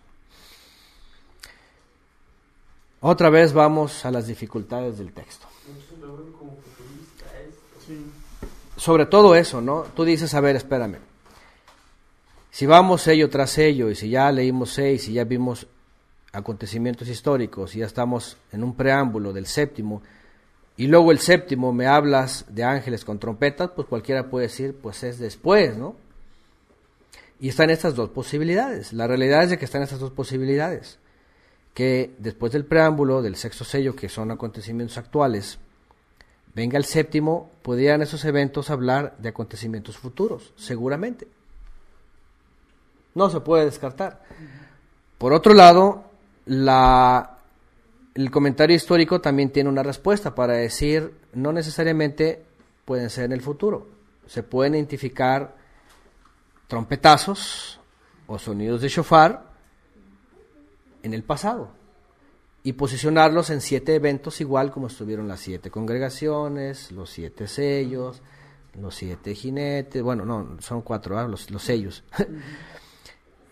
Y aquí hay esto. Yo la verdad, eh, como todo Apocalipsis es complejo igual yo, como lo dije antes, lo dejo para los que quieran decidir si es futuro o se puede acomodar en eventos pasados. Cuando vemos los siete, identificamos siete eventos, eh, hay una posibilidad de colocarlos históricamente, y ahorita voy a hacer mención de lo que hemos hablado antes, porque por otro lado vemos acontecimientos que van corriendo con la historia y que se pueden identificar eh, los mismos siete. Déjenme buscar en las diapositivas. Aquí estamos. Lo que yo voy a mencionar es lo que se dice eh, tradicionalmente en la interpretación histórica. ¿okay? En la interpretación histórica. Porque cuando tú ves esto, tú dices, a ver, truenos, fuego, se arrojó a la tierra todo el contenido del incienso, del incensario de oro, y hubo truenos, voces y relámpagos y un terremoto. Obviamente, en la literalidad, pues lo primero que te puedes preguntar es cuándo fue eso, ¿no? Hay eh, datos históricos sobre estos truenos y estas voces y relámpagos y un terremoto que coincidan, que alguien hable sobre esto. O cuando empiezan los siete ángeles y empiezan a tocar los shofarot, ocurrieron o van a ocurrir. Bueno, lo primero que tenemos que hacer es, a ver, ¿qué significan o los siete? Primero los siete. Los siete, ¿cómo los podemos interpretar? Siempre hay aquí números de siete, ¿no? Siete, siete, siete, siete. Si estamos haciendo una, un comentario histórico, tenemos que pensar en, otra vez, aunque está en el séptimo sello, eh, poder ver que siete eventos en la historia se pueden acomodar, o en eventos históricos. Primero la pregunta es, ¿qué significan las trompetas o los shofarot? ¿Cuál es el símbolo que le da la escritura a shofar? Especialmente cuando se habla de una trompeta, y en, tanto en los profetas como en la Torah, se le da, ajá, se le da la connotación de alarma. La teruá es el sonido de la alarma, ¿no? La alarma porque algo viene, algo va a ocurrir. En la posición histórica, estos trompetas tienen eh, este distintivo, ¿no? Están hablando de una alarma por acontecimientos que se van a desarrollar. Y que lo único que se tiene que hacer es buscarlos en la historia. Lo que han, los que han hecho esto han encontrado eh, estas configuraciones, por decirlo, ¿no? Y ahorita les voy a hablar, no voy a entrar en muchos detalles, por eso les decía que estudiaran eh, Daniel y además aparte de Daniel, en la serie de profecía, eh, en los cuales hay algunos eventos históricos que marcan algunas etapas en la historia, eh, que algunos los identifican, y sobre todo a mí me llamó mucho la atención, no tanto los primeros, porque los primeros de pronto están fuera de nuestro alcance por la falta del conocimiento de la historia, sobre todo de los siglos del 2 al 8, pero cuando se entra a la Edad Media, ahorita les voy a dar detalles, por ejemplo, en el cuarto ángel que toca la cuarta trompeta, que vemos otra vez eh, figuras entendibles, el sol, la luna, las estrellas, y empezamos a ver eh, escenas como de tinieblas, este, y de alarmas, como de dolor, por ejemplo, Voy a citar rápidamente nada más como ejemplo en el 8.12, 8.13, que hay un lamento, hay, hay, hay, vienen los ayes sobre los que moran en la tierra a causa de los otros toques. Hay una época en donde la humanidad vivió severas consecuencias de lo que estaba pasando entre la política, entre las monarquías, entre los movimientos del Renacimiento, la Ilustración, las persecuciones, entre el poder papal, que se resistía, por ejemplo, a los cambios de paradigmas, y sobre todo a mí me llama mucho la atención este, este, esta interpretación del quinto ángel en adelante. Ya de por sí el cuarto, y eso, eso es lo que a mí me llama la atención ¿no? sobre, la, sobre lo histórico. El cuarto ya te conecta un poquito más con lo que ya estudiamos de las, de las iglesias y de los jinetes. El cuarto ángel, interesantemente, te coloca en el cuarto sello que es el jinete este, del 3 al 4, que es el negro y el amarillo, en donde te habla de oscuridad, de tinieblas, de oscurantismo de la Edad Media. Ahorita, se los voy a hablar en detalle. Pero lo más impresionante es el quinto, cuando se habla de los ayes y se habla de las dificultades que vivió la gente después de la época del oscurantismo, sobre todo con las órdenes católicas, que empieza una, una lucha sangrienta eh, de persecución. Otra cosa importante, estos, estos toques de trompeta y, y todo lo que traen como consecuencia, si ustedes se fijan, eh, va sobre, sobre la gente en la tierra, no sobre los creyentes necesariamente.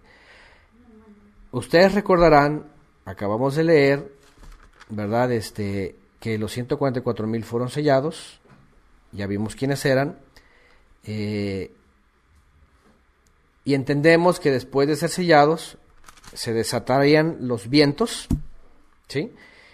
Y lo que vemos en las trompetas es que ya los vientos se desataron y que comienza con un primer sonido de alarma y todo el efecto va sobre las naciones.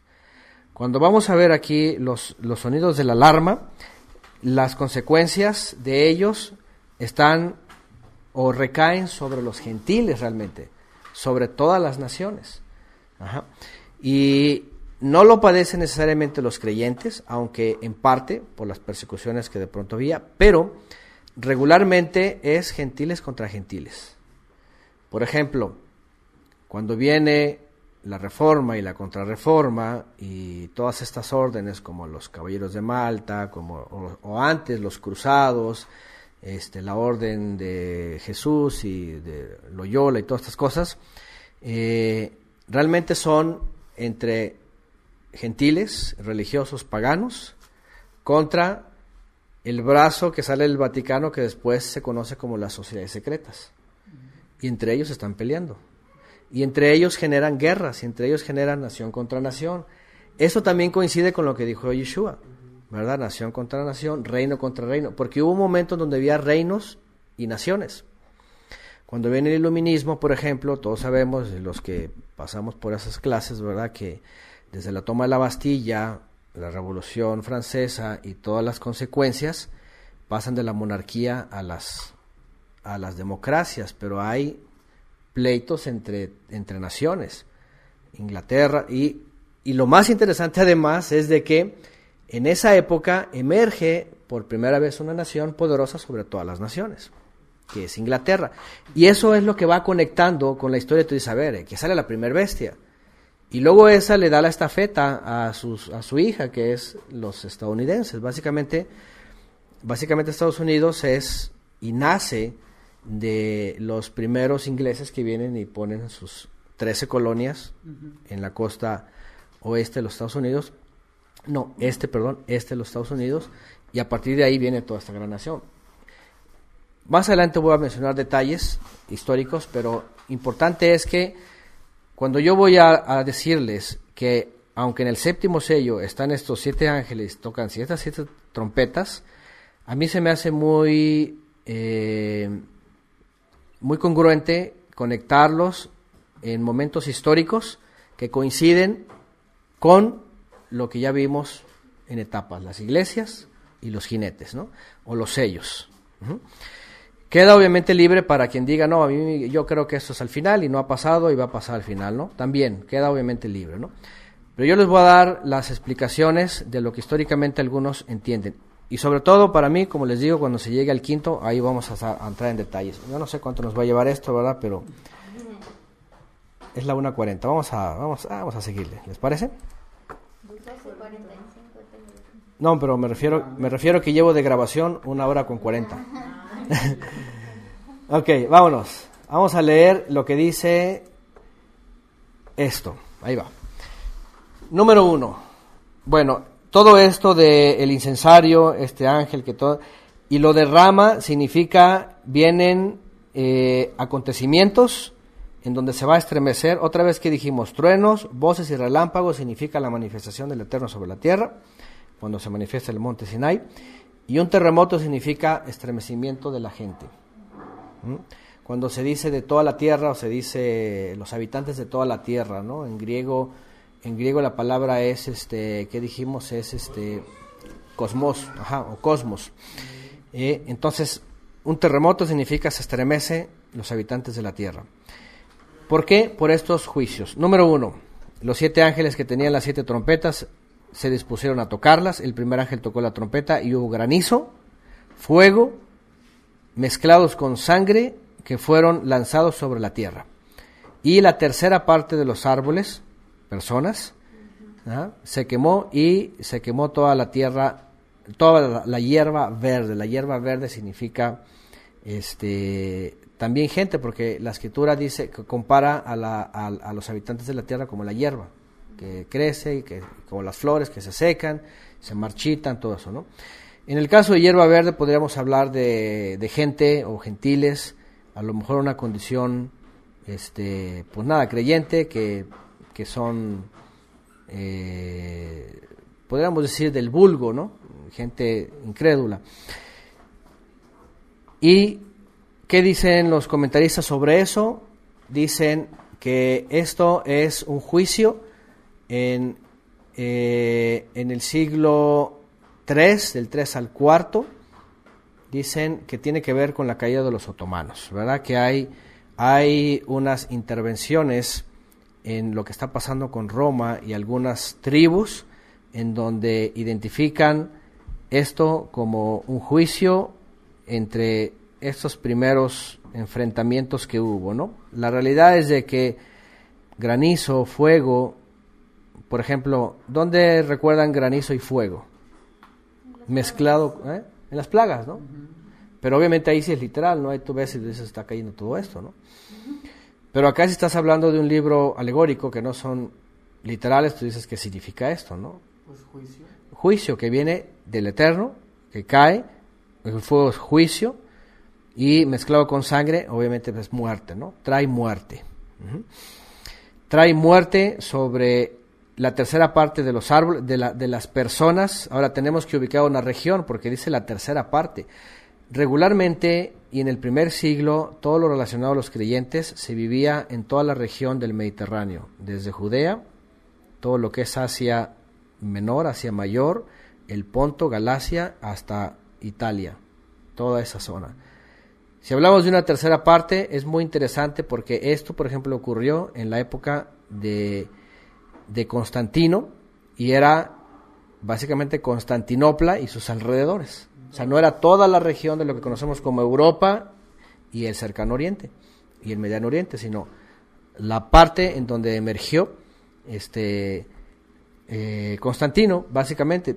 De hecho, lo más interesante es de que, por ejemplo, entre esas luchas, Constantino eh, funda Constantinopla y después vamos a ver más adelante otro evento en donde en donde Constantinopla deja de ser Constantinopla.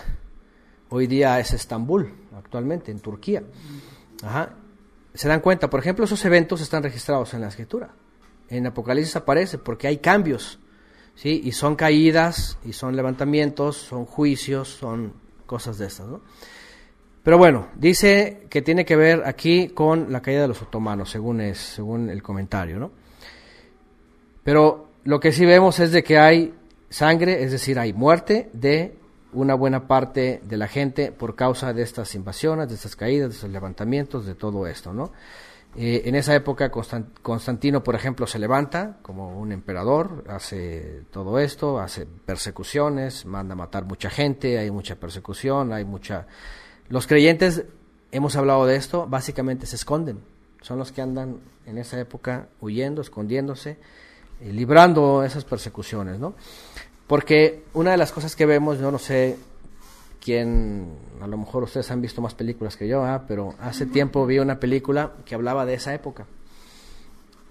Y estas personas, este, cuando se trataban de defender sus intereses, pues eran salvajes y mandaban a sus, por ejemplo, en la época de Constantino todavía, que él tenía bajo sus poderes legiones romanas, pues las mandaban y hacían despedazadero de pueblos, ¿verdad? Y si no se sometían, los acababan, los exterminaban. Entonces habla de muerte sobre gente, eh, un juicio que es muerte sobre gente en esa zona. ¿no? 8. El segundo ángel tocó la trompeta y como una gran montaña ardiendo en fuego fue precipitada en el mar y la tercera parte del mar se convirtió en sangre. Aquí vemos otra vez.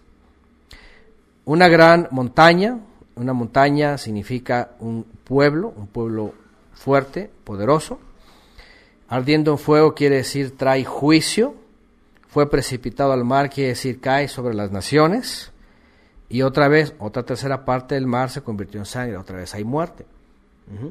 Esto está asociado, según el comentarista histórico, sobre la invasión de los vándalos, que fue una de los, de los diez, este, podríamos decir, naciones, pueblos que estaban haciendo una labor, la labor que mencionó Daniel de los pies de hierro con, con barro, una combinación que entre, en esa época entre ellos había invasiones, había poderío, se levantaban unos, caían otros, y, y había, había mucha, mucha este, mortandad, había mucho pleito y morían, ¿verdad?, entre ellos.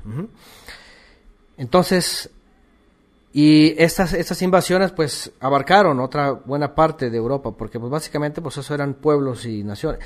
Y por cierto, también era la época en donde dice Daniel en las visiones que, eh, que Roma también estaba perdiendo poder, ¿no? Y estaba, estaba, sí, estaba esa transición. De hecho, la historia nos dice, ¿no? Después de, de que fue república y se levanta como imperio en la época, de hecho, de Yeshua, por este Octaviano, después viene el triunvirato y después viene la decadencia. Y dicen que ya para el siglo IV y V estaba... Por eso es que toman la postura religiosa y después se convierten en líderes religiosos, ya para el siglo VI. Y estas invasiones, interesantemente, traían como consecuencia eso, el debilitamiento del imperio y además mucha mortandad. Verso 10. El tercer ángel tocó la trompeta, otra vez otro juicio, suena la alarma, y cayó del cielo una gran estrella ardiendo como una antorcha y cayó sobre la tercera parte de los ríos y sobre los fuentes de las aguas. El nombre de la estrella es Ajenjo, y la tercera parte de las aguas se convirtió en Ajenjo, y muchos hombres murieron a causa de esas aguas porque se hicieron amargas.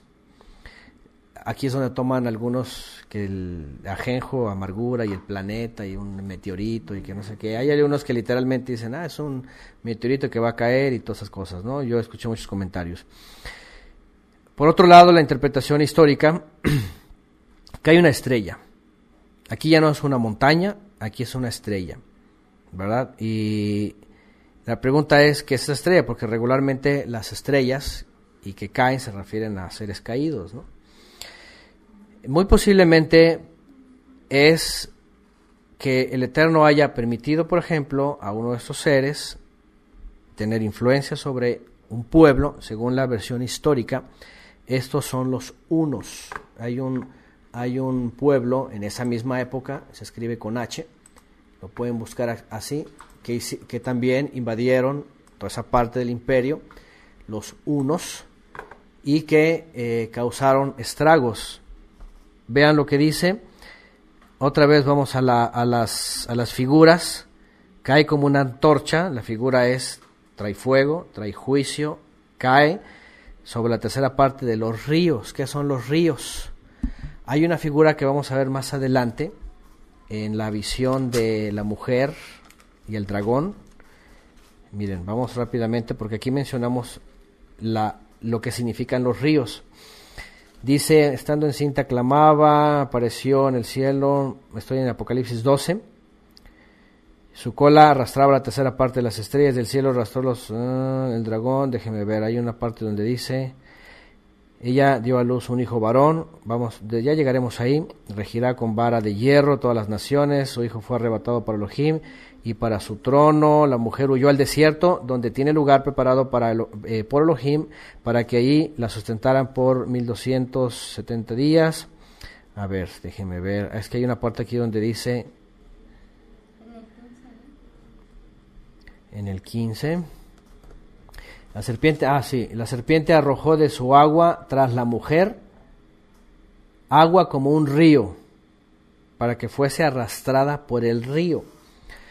Ya llegaremos ahí, pero me adelanto porque aquí aparece otra vez esta figura del río y si nos vamos a la historicidad y vemos que obviamente Israel es la mujer y el Mesías y, todo lo que pasó en el primer siglo, eh, este río que lanza el dragón se entiende que es eh, pueblos para perseguirlos y para destruirlos, ¿no? Porque se acuerdan que ya no tenía intervención Satanás sobre Israel, Ya no para engañarlos y ya no para para este atacarlos directamente, no para acusarlos. Y lo que hace la serpiente o Satanás para perseguirlos es usar a naciones o a pueblos para perseguirlos, para, para, para, acabar con ellos. Entonces, río, si las aguas son, si, la, si los mares son naciones, ríos son entonces también pueblos, ¿verdad? O, sí, pueblos o, o, entidades más pequeñas de gente que, que corren eh, sobre la tierra para, para persecución, sobre todo para el, río, ¿qué significa? Arrastrar, ¿no? Arrastrar y llevarse. Como también viene la, la, figura de ir en contra de la corriente.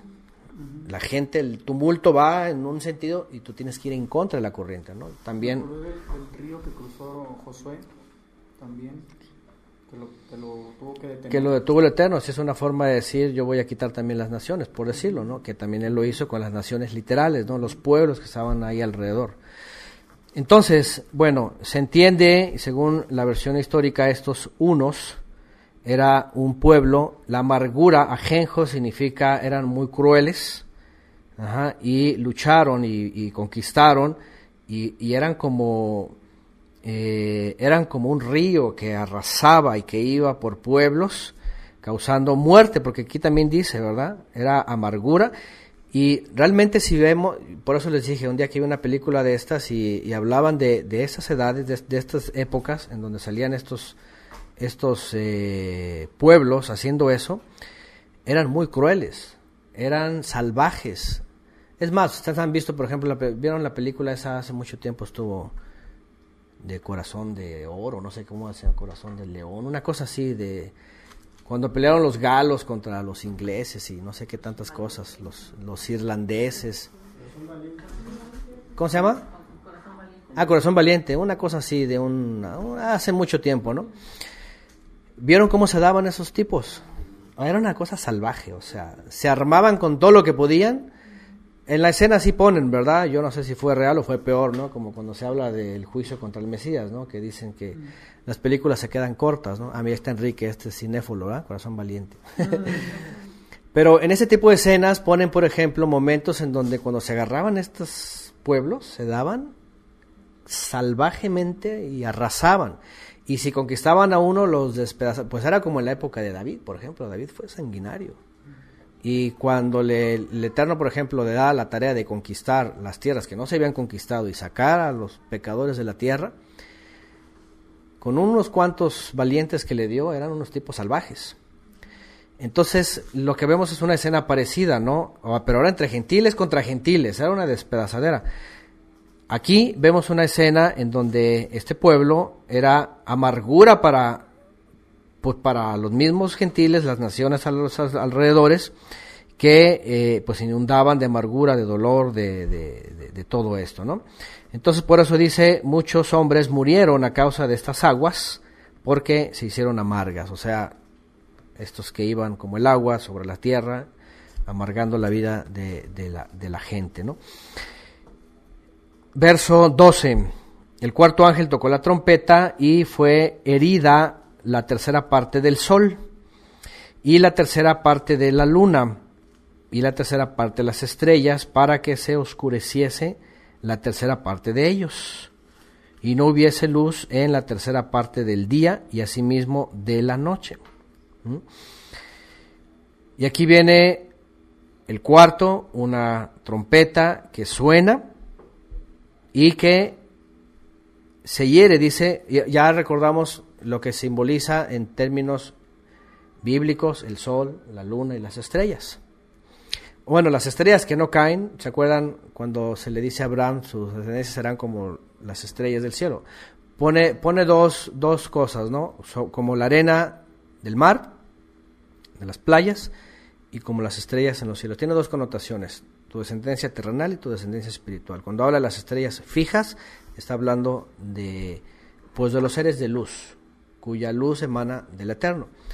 La luz original que proviene, por ejemplo, del sol, representa a la luz del Creador que refleja sobre la luna, que tiene, que tiene un simbolismo tanto del Mesías como de la congregación.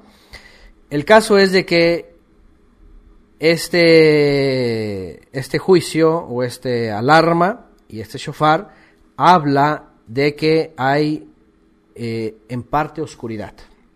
Hay en parte Y aquí es donde a mí me empieza a conectar más. ¿Por qué? Porque fue herida, herida la parte, la tercera parte del sol, luna y estrellas, que simbolizan la luz que refleja a los creyentes o a la gente, ¿no? a la tierra, a las personas, a las almas. Y el hecho de permitir que, porque dice fue herida, no dice que fue ocultada, no dice o, oculta, no dice que fue, o sea, no sé en sus versiones, pero aquí al menos dice que fue herido. Asolado. También habla de daño, ¿no? Ahí no sé cómo viene. Pero... Dice nada más. Dejó de alumbrar. nada más. El caso es de que está siendo impedido y se permite que sea esto. Y se nota que es porque de arriba para abajo la luz es está siendo impedido por algo. Y dice, ah, ah, vamos a seguir más adelante, donde estoy? En el 12, ¿verdad? Vean. 12, 12, 12 para que se oscureciera la tercera parte de ellos y no hubiese luz en la tercera parte del día y asimismo de la noche. Y miré y oí a un ángel volar por en medio del cielo diciendo a gran voz, ay, ay, ay, de los que moran en la tierra, vean, a causa de los otros toques de la trompeta que están por sonar los tres ángeles. Con este evento hay una advertencia a los moradores de la tierra en base a la ausencia de la luz que se, ha recortado y que va a ser doloroso, va a ser eh, un momento que lo van a sufrir. ¿Por qué digo esto? Porque interesantemente, cuando empezamos a acercarnos más acá a la historia y empezamos a ver los eventos que pasan, ciertamente traen mucho dolor a la tierra, porque más adelante vienen dos ayes dos o tres ayes, si no me lo recuerdo, creo que son tres. Dos ya se cumplieron y falta uno. Pero vamos a lo otro. ¿Qué significa esto? Que en parte se oscurece. Esto coincide con lo que vamos a ver más adelante, en donde cae un ángel o cae una estrella. O no, dice que desciende un ángel con las llaves del pozo del abismo. Lo vamos a ver más adelante. Y dice que abre el pozo del abismo y salen tinieblas. ¿Sí? ¿Sí le recuerdan? Si no, para buscarlo, a ver dónde está. Este. A ver. A ver si alguien lo, lo encuentra antes. 9-1. Ah, ok, sí, sí, sí. Sí es cierto. Ah, pues es lo que sigue. Ahorita vamos a ver esto, justamente. Eh, Abrir el pozo de la vida. Ah, sí, perfecto. Ahorita lo vamos a ver. Entonces ahorita nos conectamos con eso, sí. tiene que ver con lo mismo. ¿Qué pasa en esta época? Hay oscuridad. En parte hay oscuridad. ¿Qué significa esto? Y esto coincide con la época del siglo VI, después de que pasaron estos, estos reinos contra Roma, los eh, unos, los vándalos, se les llama, eh, viene un momento en donde finalmente el imperio se impone. ¿Se acuerdan que hablamos del sello donde viene oscuridad? Eh, el, sello de la oscuridad, ¿se acuerdan? El, jinete, el jinete negro. Ajá. Hay oscuridad y comienza algo en penumbras, en oscuridad. Esto coincide con, con el cuarto ángel, fíjense, y trae consigo oscuridad. Tapa en parte el sol, en parte la luna y en parte las estrellas. Es decir, la luz de arriba es impedida. Esto es interesante que coincide con, la, con el jinete negro que abre el, que el sello abre el jinete negro que es la época del oscurantismo. La luz es impedida, ya la luz ya, ya no llega igual y hay un momento de tinieblas que básicamente es del siglo VI hasta el siglo básicamente XVI. Son mil años de oscurantismo. En la historia se conoce esto así como el oscurantismo, la Edad Media. Y hay ausencia en parte de luz, de luz natural, de luz reflejada y de luz de los astros, ¿no? que significa pues la luz del Eterno. Y todavía más interesante que en el quinto ángel, vean, toca la trompeta, toca la alarma y dice que se le da la llave del pozo del abismo. Es decir, todavía vemos que hay en parte oscuridad, pero se le da la llave del pozo del abismo y dice, y abrió el pozo del abismo y subió humo del pozo del, abismo como humo de un gran horno. Yo no sé quién ha visto esto, ¿ah? allá en Guadalajara, en la zona de en la zona de Tlajumulco, no sé si recuerdas que hay estos lugares donde cosen el, tabique. Y, regularmente ya lo hacen en la noche para que no se vea el escándalo, pero cuando le encienden sale una madera así impresionante. Eh, pero lo que voy es, sube el humo, vean lo que dice, dice, y el humo, un gran humo, y oscureció el sol y el aire, dice, eh, y se oscureció el sol y el aire por el humo del pozo. ¿Mm? Y del humo salieron langostas, dice aquí, sobre la tierra, y se les dio poder, como tiene poder los escorpiones de la tierra. Y se les mandó que no dañasen la hierba de la tierra, ni cosa verde alguna, ni a ningún árbol, sino solamente a los hombres que no tuviesen el sello de Elohim en sus frentes. Vean, aquí se vuelve a retomar el sello. Y les fue dado no que los matasen, sino que los atormentasen cinco meses, y su tormento era como tormento de escorpión, como hiere, como cuando hiere al hombre. Y en aquellos días los hombres buscarán la muerte, pero no la hallarán, y ansiarán morir, pero la muerte huirá de ellos. El aspecto de las langostas era semejante a caballos preparados para la guerra. En las cabezas tenían como coronas de oro. Gracias. ¿Qué pasó, chiquita? Llévaselo a Elvia, mi amor. Sí, ahí. No te metas aquí, chiquita, porque luego, si se mueve, te culpan de que pisaste el cable. Ayer, ¿verdad? Fue mi cal. Perdón, tenían corazas como Ah, ¿dónde me quedé? Ocho. Tenían cabello como cabello de mujer, sus dientes eran como de leones, tenían corazas como corazas de hierro, el ruido de sus alas eran como de estruendo de muchos carros, de caballos, corriendo la batalla. Tenían colas como de escorpiones y también aguijones, y en sus colas tenían poder para dañar a los hombres durante cinco meses. Y tenían por rey sobre ellos al ángel del abismo, cuyo nombre en hebreo es Abadón y en griego es Apolión, que significa destructor.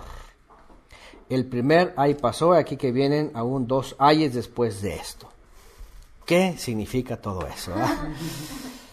Los que ya vieron Apocalipsis, hablamos en esa sección, y aquí yo puse una imagen, una imagen que me encontré en internet ahí, ¿verdad? Que hay un pozo ahí. Bueno, no la estoy poniendo en YouTube, la estamos viendo acá. Y sale humo y se oculta el sol, la luna y las estrellas, ¿no? El, el viento y sale un demonio ahí. Y aquí yo puse desde el inicio de las persecuciones hasta el inicio de las sociedades secretas. Y yo usé una imagen que ahorita les voy a poner aquí, eh, que los comentaristas dicen, ¿de dónde? Porque aquí la pregunta es, ¿qué significa todo esto, no? Que langostas y que alacranes y que, no sé, el pelo y la cola, escorpiones y todas estas cosas. Imagínense Johanan tratando de identificar qué cosa está viendo, ¿no? y yo puse esta imagen, no sé quién la recuerda, los que están en YouTube, no la voy a poner aquí porque no la tengo preparada. Cómo iban vestidos estos legionarios de las órdenes papales que se... Y es que puse estas fotos porque me llamó la atención eh, su... ¿Cómo se llama? Su, ¿Su atuendo? ¿no? Cómo, cómo vestían a los caballos, cómo les ponían artefactos, cómo ellos iban con sus, con sus este, armaduras, las espadas, que, todos los artefactos que usaban. Imagínense, Johanan, ver, por ejemplo, esta escena, ¿no? y la capa y todo, pues él le decía, pues era como algo, como alas, a lo mejor, ¿verdad? La ropa que, que volaban y tenían como un, su espada, por ejemplo, grande, que a lo mejor en aquella época, o estos estandartes que llevaban, no sé, a lo mejor pensó como caballos que van corriendo, pero tenían sus alas y sus cabellos eran así y asado. A lo que voy es de que es muy probable que Yohanan cuando tiene estas visiones, él pone una descripción que obviamente en aquella época no existían y no entendían. Esos atuendos no se usaban, o sea, eran cosas más sofisticadas, más sofisticadas. Y, él pone una descripción que obviamente se presta aquí para muchas cosas, ya saben. la interpretación futurista, que es literalista, ellos creen que van a salir estas cosas raras, ¿verdad? De hecho, hace tiempo yo me acuerdo que hubo una iglesia así de esas, de esas que, son literalistas, que empezaron a publicar una foto de un insecto que es como un alacrán volador. ¿Sí lo vieron? ¿No la vieron? Se puso de moda, y, no, que el apocalipsis, que ya aquí están y que van a volar y que te van a picar, ¿no? Así como... Hay una película que no tiene mucho y se llama El Remanente, algo así. Así que salen puras cosas de esas, ¿no? Que salen. Literal. Ajá, literal. Literal. Este... Insectos raros y cosas así, ¿no? Porque esta posición, por ejemplo, dicen, no, que aquí va a salir que la bestia y que los, eh, y que los alacranes volando y langostas. De veras, y tú dices, oye, pues oye, muy fantástico, ¿no? Y obviamente, pues ni ha, ni ha ocurrido y dicen que va a ocurrir en el futuro, ¿no? Pero por otro lado, tú dices, pero espérame, están hablando de símbolos, vamos a tratar de ver qué son los símbolos. Aquí lo que está diciendo Johanan en la visión es, y vi, y tenían este aspecto, y parecían esto y parecían lo otro, ¿no? Salieron langostas sobre la tierra, se les dio poder, qué poder, qué hicieron, estaban dañando la hierba, otra vez, ¿qué es la hierba? La hierba del campo, dice la escritura que es la gente, ¿verdad? Que en un rato está verde y el otro lado se marchita. Eh, solamente que no dañaran a los, a los que tienen, estaban sellados, fíjense, todavía aquí perdura el sello. ¿Para quién? Para ese remanente, seguramente que todavía va a través de la historia. Y no se le dice que se, eh, se, le fue dado que no los matasen, sino que los atormentaran eh, cinco meses, bueno, otra vez un tiempo profético. Gente buscará la muerte, no la hallará. Bueno, ¿qué es lo que pasa? Vamos a la historia. ¿Qué es lo que ocurre en esta época? Vamos a, hacer los comentarios porque yo les digo, lo más interesante que pasó fue es, esto. Eh, aquí viene la semejanza de las langostas, dice. Porque pues una langosta, dices, ¿cómo son, no? eh, cabello de mujer, coronas de oro, caballos, corazas de hierro, corazas de hierro, sus dientes como de león, algo indescriptible. ¿Qué es esto, no? Eh, tenían colas de escorpiones, etcétera. Ah, y vean esto, tenían por rey sobre ellos al ángel del abismo, cuyo nombre en hebreo es Abadón y en griego es Apolión. Tenemos un tiempo de oscurantismo en, el, en la trompeta anterior, que es el cuarto ángel toca la cuarta alarma. Época del oscurantismo, casi mil años, del siglo VI al XVI, en donde lo único que se dice es que se oscureció en parte y se les dice aguas porque ahí vienen los ayes. Comienza el quinto ángel, toca la quinta alarma y aquí comienza el primer ay.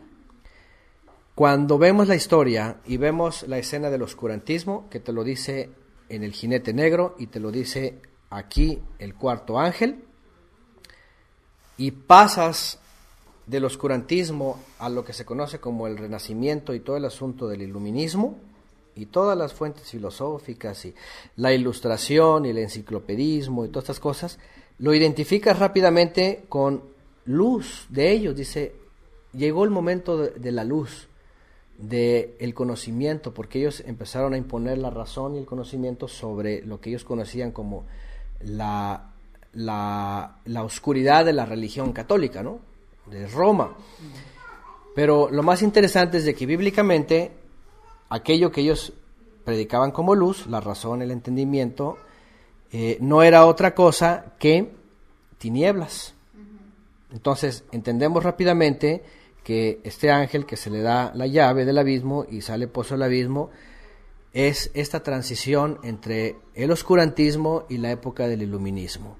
¿Qué pasa en la época del iluminismo? que efectivamente tanto hay este movimiento que dice ser luz, pero que realmente es tinieblas y está ocultando lo que quedaba de la luz de la Torá, del Mesías y de los creyentes. Eso es muy interesante porque trae consigo una, una lucha contra la Biblia. En la, en la historia recordamos que son o es el momento en donde salen los verdaderos enemigos de la Biblia. ¿Se acuerdan? Y yo lo mencioné en las clases que este, Voltaire, uno de estos filósofos que salen de la ilustración, es el que en su época, cuando se hizo un decreto en contra de la Biblia en Europa, desde Francia, él dice, y él dijo que el siguiente año la Biblia iba a desaparecer finalmente, que porque era el producto de la ignorancia y de la incongruencia. Y los ilustradores habían dicho se acabó. Llegó la era de la razón, del pensamiento, de la inteligencia. Y lo más interesante es de que, yo vamos a verlo más adelante sobre los testigos, los dos testigos, es de que en la casa de Voltaire fue el lugar en donde Gutenberg puso su primera imprenta. Y el primer libro que se empezó a reproducir fue la Biblia. El primer best seller, seller ¿cómo es? Select. El primer libro que se empezó a reproducir cuando un año antes ese tipo había dicho, el otro año la Biblia va a ser destruida para siempre. Y el Eterno le, da la vuelta y lo que hace es exaltar su palabra y volverla otra vez a, enviar. Lo vamos a ver más adelante. Es muy interesante porque aquí es donde a mí me coinciden los, los eventos históricos. Después del el oscurantismo viene este mover de las naciones. De hecho, también surge otro, otro eh, movimiento mundial que son las revoluciones, ustedes saben que impacta desde la Revolución Francesa y bestseller, ahí está, esa es la bestseller. Eh, impacta en Europa, impacta en América también, porque ya para eso empieza a expandirse eh, las naciones, empiezan a reconfigurarse, empiezan a caer las monarquías, empiezan a levantarse las democracias. Interesantemente empiezan los los movimientos iluministas, empiezan las logias masónicas, empiezan que el Illuminati, que este... De hecho yo aquí puse, por eso puse aquí, desde el inicio de las persecuciones hasta el inicio de las sociedades secretas, y por ejemplo, vean, el humo que sale del pozo del abismo a manera de consecuencia, por ejemplo, de, de, de la intervención demoníaca, es la masonería, el espiritismo, la teosofía. Aquí vienen, por ejemplo, falsos profetas o falsos o movimientos religiosos como los jesuitas. Eh, vienen, por cierto, todos los fundadores de las denominaciones y religiones que existen hoy día, como Russell, Smith, Elena de White, Francisco Rivera con el futurismo. Aquí es donde comienza, por ejemplo, es porque todo eso es tiniebla. Estas tinieblas empiezan a ocultar la verdad de la Torah. Después viene, pues, ya para eso había, todo comenzó con Lutero, con, ¿verdad? Con este, todos los de su camada, ¿no? Y terminó con todo el asunto de la nueva era, ¿no? Y el asunto de la ciencia cristiana. Pero lo que son los mormones, los testigos de Jehová, la ciencia cristiana, denominaciones, ecumenismo, todo eso finalmente fue como tinieblas que salen y que empiezan a ocultar. De hecho, aquí yo creo que puse una lista, por aquí puse una lista de todas las sociedades secretas que empezaron a nacer. De hecho, aquí puse el producto del iluminismo, eh, que en la toma de la Bastilla, de hecho hasta el día de hoy está este cuadro, eh, en donde, que representa la independencia supuestamente para traer la luz en contra de las monarquías, y en donde está una mujer, ustedes conocen esta ilustración, que tiene la bandera francesa, hablando de la, de la nueva edad que había llegado, la edad de oro, la edad de la luz, le llamaban ellos. Y por eso le hacen un obsequio los franceses a los estadounidenses de la, esta, ¿cómo se llama? De la Estatua de la Libertad, que es la misma diosa de siempre, ¿no? La mujer que representa la libertad, no es otra que Columbia, que es Ishtar, Semiramis, o sea, es el culto a, la reina del cielo, desde la posición del, iluminismo, haciendo luz, haciendo este show o su propia luz de la, de la, del conocimiento, de la era de la luz, todo esto. Y eh, aquí le puse yo, el pueblo toma el poder, 1789, desde Luis VI y la Revolución Francesa, el principio de las sociedades secretas, la masonería, el Illuminati, eh, los Skull and, Bones, las calaveras y huesos, como, como los, los, los primigenios, ¿no? Porque después viene eh, sus vertientes hasta la época actual que está el Bilderberg y todas estas sociedades secretas, ¿no? Y lo más interesante es de que todo comienza con la Declaración de los Derechos del Hombre en Francia, los cuales eran diez y los cuales eran como una contraposición a los diez mandamientos, a las diez frases de la Torah. Esto yo lo hablé en detalle también, di muchos detalles en, el verso a verso, pero este, no están viendo ahorita la imagen, pero los que quieran, ustedes vayan ahorita al Google y busquen la Declaración de los Derechos del Hombre y ustedes se van a encontrar con una imagen que a mí me llamó mucho la atención, ¿verdad? Porque eh, están dos mujeres, que la libertad y que la luz, y una está apuntando hacia el, el, ojo de Horus, que es el triángulo resplandeciente, en donde supuestamente ellos están recibiendo la luz del conocimiento, de la razón. Están los jacobinos aquí, está el gorrito, está aquí, este, este, ah, según ya rompió la, la cadena de la esclavitud, porque también promovieron el asunto de de la abolición de la esclavitud, de la libertad, de la libertad de culto, la, libertad de todo. Ese es el principio de la libertad de todo. De que cada uno haga lo que bien le parezca, ¿no? Y si se fijan aquí, pues está como un ángel, ¿no? Esta mujer, ¿no? Trae sus alas y está apuntando aquí hacia el ojo de oro y bueno, ahí este tiene mucha historia, hay muchas cosas que yo llegué a mencionar en su momento. Pero lo importante es de que en Apocalipsis 9, cuando vamos a la historia y vemos este, esta alarma, eh, este ángel dice que esa estrella cae de la tierra y dice y se le dio la llave del pozo del abismo. Abrió el pozo del abismo y subió humo del pozo como humo de gran horno se oscureció el sol. Aquí ya esta, estas tinieblas realmente estaban ocultando lo que quedaba de luz del Creador, ¿no? de la Torah y del Mesías. ¿Por qué? Porque en las naciones así fue. Cuando viene el iluminismo, cuando vienen los primeros expositores, eh, filósofos de la ilustración, eh, quieren poner por encima de todo la razón, ¿no? Ahí están todos estos este, ¿cómo se llama? Expositores. Ah, bien, aquí está otra declaración de los derechos del hombre. Bueno, aquí le puse más detalle. aquí puse unos detalles, por ejemplo, de lo que ellos querían. Derechos humanos, apoyar y respetar. Normas laborales. Eliminar todas las formas de trabajo. Según ellos, ¿no? Hay cosas que... Con esto empezaron a engañar a la gente, ¿no? Eh, déjenme leer desde aquí la Declaración de los Derechos del Hombre y del Ciudadano, así comenzó todo, Declaración de los Derechos del Hombre y Ciudadano, adoptado antes del 14 de julio de 1789 en Francia, marca el fin del antiguo régimen y el principio de una nueva era, decían ellos. Es junto con los decretos del 4 y del 11 de agosto de 1789 sobre la supresión de los derechos feudales. En la declaración se definen los derechos naturales e imprescriptibles como la libertad, la propiedad, la seguridad, la resistencia a la opresión. Asimismo, reconoce la igualdad de todos los ciudadanos ante la ley y la justicia. Por último, afirma el principio de la separación de poderes. El rey francés Luis XVI eh, la ratificó el 5 de octubre bajo la presión de la Asamblea y el pueblo que habían acudido a Versalles.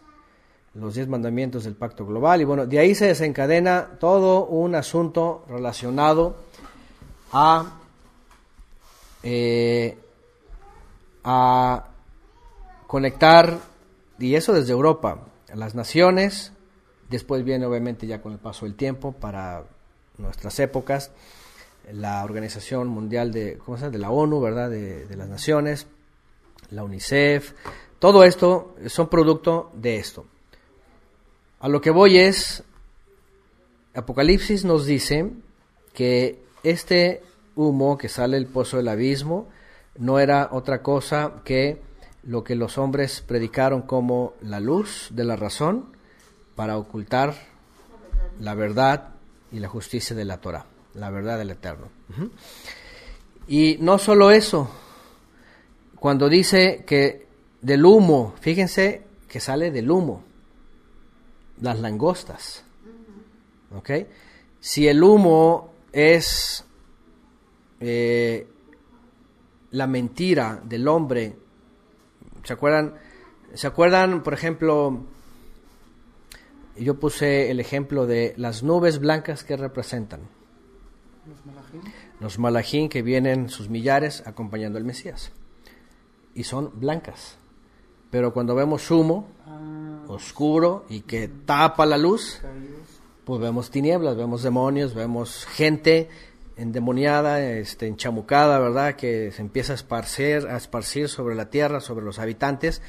Y esto es, empiezan a ocultar la verdad y empiezan a hablar de su razón. Y cuando dice langostas y todo eso y se les dio poder sobre los habitantes de la tierra, ¿qué significa?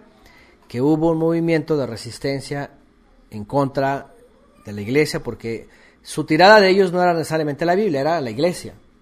Y junto con ello, obviamente, pues querían destruir la Biblia, ¿no? Creían que era, era, La fuente. era la fuente de la religión y del oscurantismo. Y lo que hicieron ellos es comenzar una eh, persecución otra vez y una defensa. Y aquí otra vez, es por eso que dice que viene el primer ay. En Europa se dieron eh, serios enfrentamientos entre estos dos bandos que al final se separaron, que realmente uno sale del otro. Ustedes saben, y los que vimos, incluso por, por indagar y por ver esta película este de del cómo se llama del libro este del código da Vinci no sé cómo se llamaba. Así se llamaba también quién la vio se acuerdan ah pero hay otra que se llama Ángeles y demonios Así, la de la antimateria y- Ajá, pero se dan cuenta que la base de ellos es que traen un pleito entre la Iglesia Católica y los Illuminati. Ajá. Y según ellos, y según el autor, unos son ángeles y otros son demonios, ¿no? Pero lo que nos dice la historia es de que ambos son demonios, nada más que como el reino está dividido, dice un, rei- un reino dividido, dice Yeshua, no puede permanecer. Entonces, lo que nos dice la historia es de que el Illuminati, realmente, que son los del temple, estos del temple eran los templarios, que estaban a favor de la corona católica, pero que llega un momento que por intereses poderosos y ocultistas, ya no se someten a Roma y hacen su propio, ¿ah? y es donde comienzan los de Baviera y comienzan todas estas legiones o, logias, en este caso más bien logias, eh, que traen un enfrentamiento entre ellos. Y el libro, según este, ángeles y demonios, pero los dos son demonios y están peleando, ¿no? Pero lo que voy es de que generan con las revoluciones cualquier cantidad de muerte y de persecuciones y, y hasta en México, hasta en Latinoamérica ocurrió esto, porque vino una, una, mm, eh, ¿cómo se le llama cuando tiran las fichas estas? Que se van cayendo una por una, ¿no? Una, una- un efecto dominó, ¿verdad? Que comienza en América con las revoluciones, y las revoluciones también traen muerte, ¿no? Traen, traen persecución, traen invasión, sangre, y esto se le conoce como el primer ay.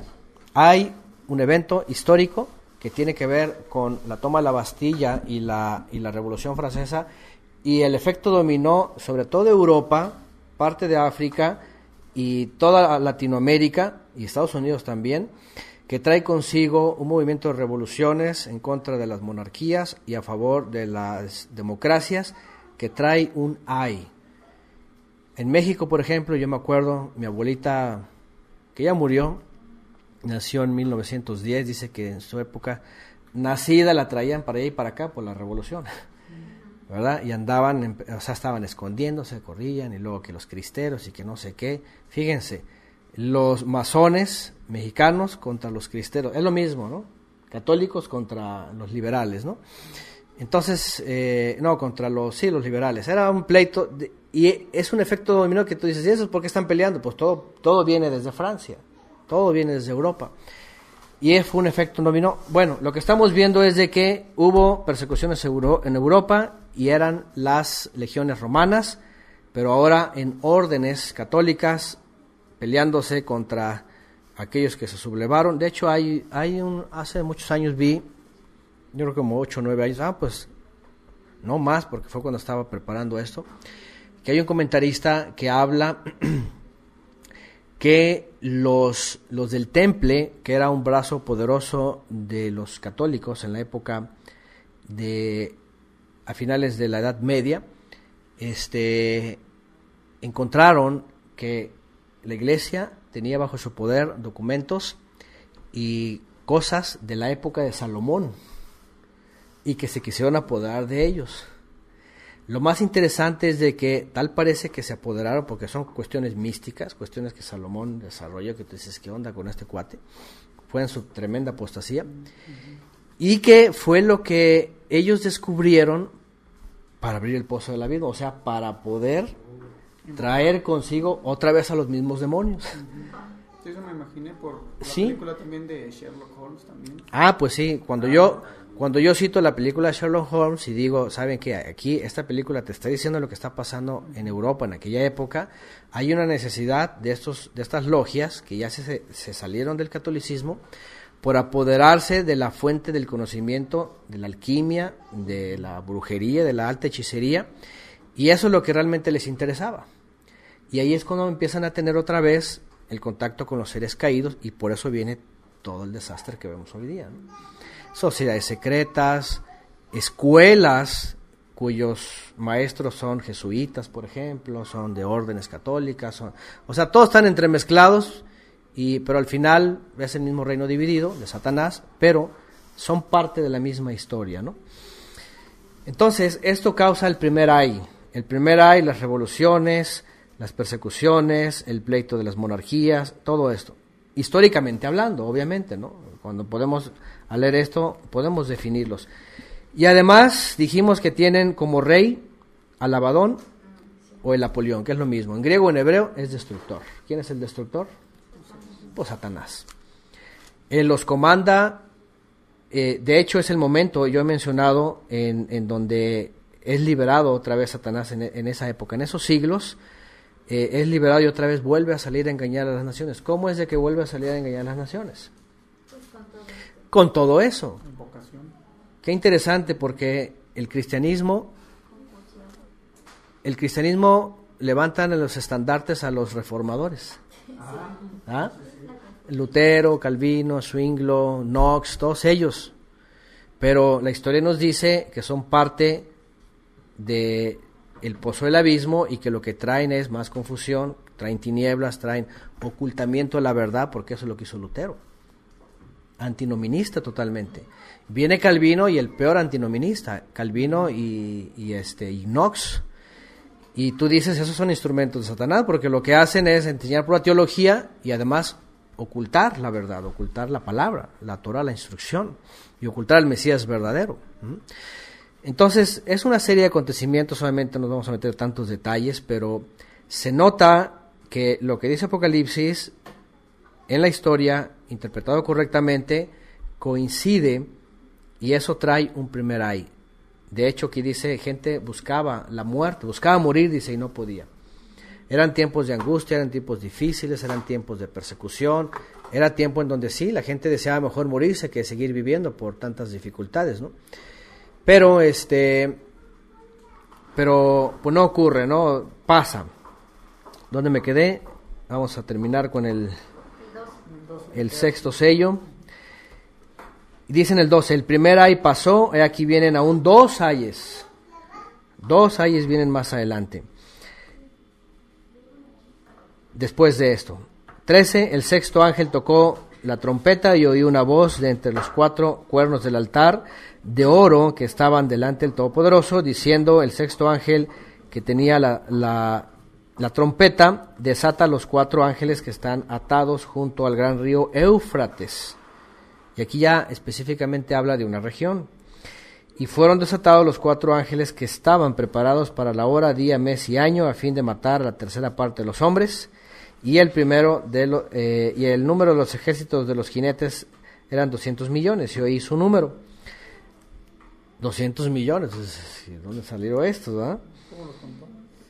Así dice, eh, vi en visión los caballos y los jinetes, los cuales tenían corazas de fuego, de zafiro y de azufre, y las cabezas de los caballos eran como cabezas de leones, y de su boca salían fuego, humo y azufre. Por estas tres plagas fue muerta la tercera parte de los hombres, por el fuego, el humo y el azufre, que salía de su boca, pues el poder de los caballos estaba en su boca y en sus colas, porque sus colas semejantes a serpientes tenían cabezas y con ellas y con ellas dañaban.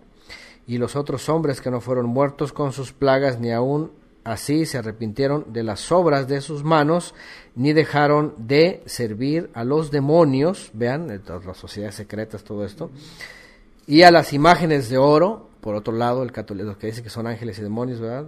Los adoradores de los de las imágenes de oro, de plata, de bronce, de piedra, de madera, los cuales no pueden ver, ni oír, ni andar. Qué interesante, como que aquí toma la idolatría así dentro de todo esto, ¿verdad? Ahí está todo el catolicismo, finalmente. Y no se arrepintieron de sus homicidios, ni sus hechicerías, ni su fornicación, ni sus hurtos. Ahí está. Esto es el, ¿qué? El número sexto, ¿ah? El número sexto. ¿Qué, qué, qué le siguió a, las, a la transición de la Edad Media y de la Ilustración? Bueno, eh, aquí primero dice que el primer hay, después vienen uh, el sexto ángel tocó la trompeta y oí una voz de los cuatro cuernos del altar. Ajá, fueron desatados los cuatro ángeles que estaban, aquí está, Cuatro ángeles, otra vez, disturbios en el mundo. Primero ocurre en Europa y dice, y dijimos que viene un efecto dominó, ¿no? Toda Europa, parte de África, Latinoamérica. ¿Qué ocurre después de eso? Se empiezan a configurar las naciones.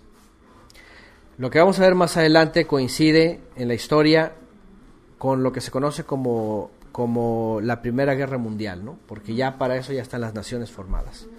Cuando se desatan otra vez estos vientos en toda la tierra, porque aquí es en toda la tierra, es cuando se reconfigura las naciones.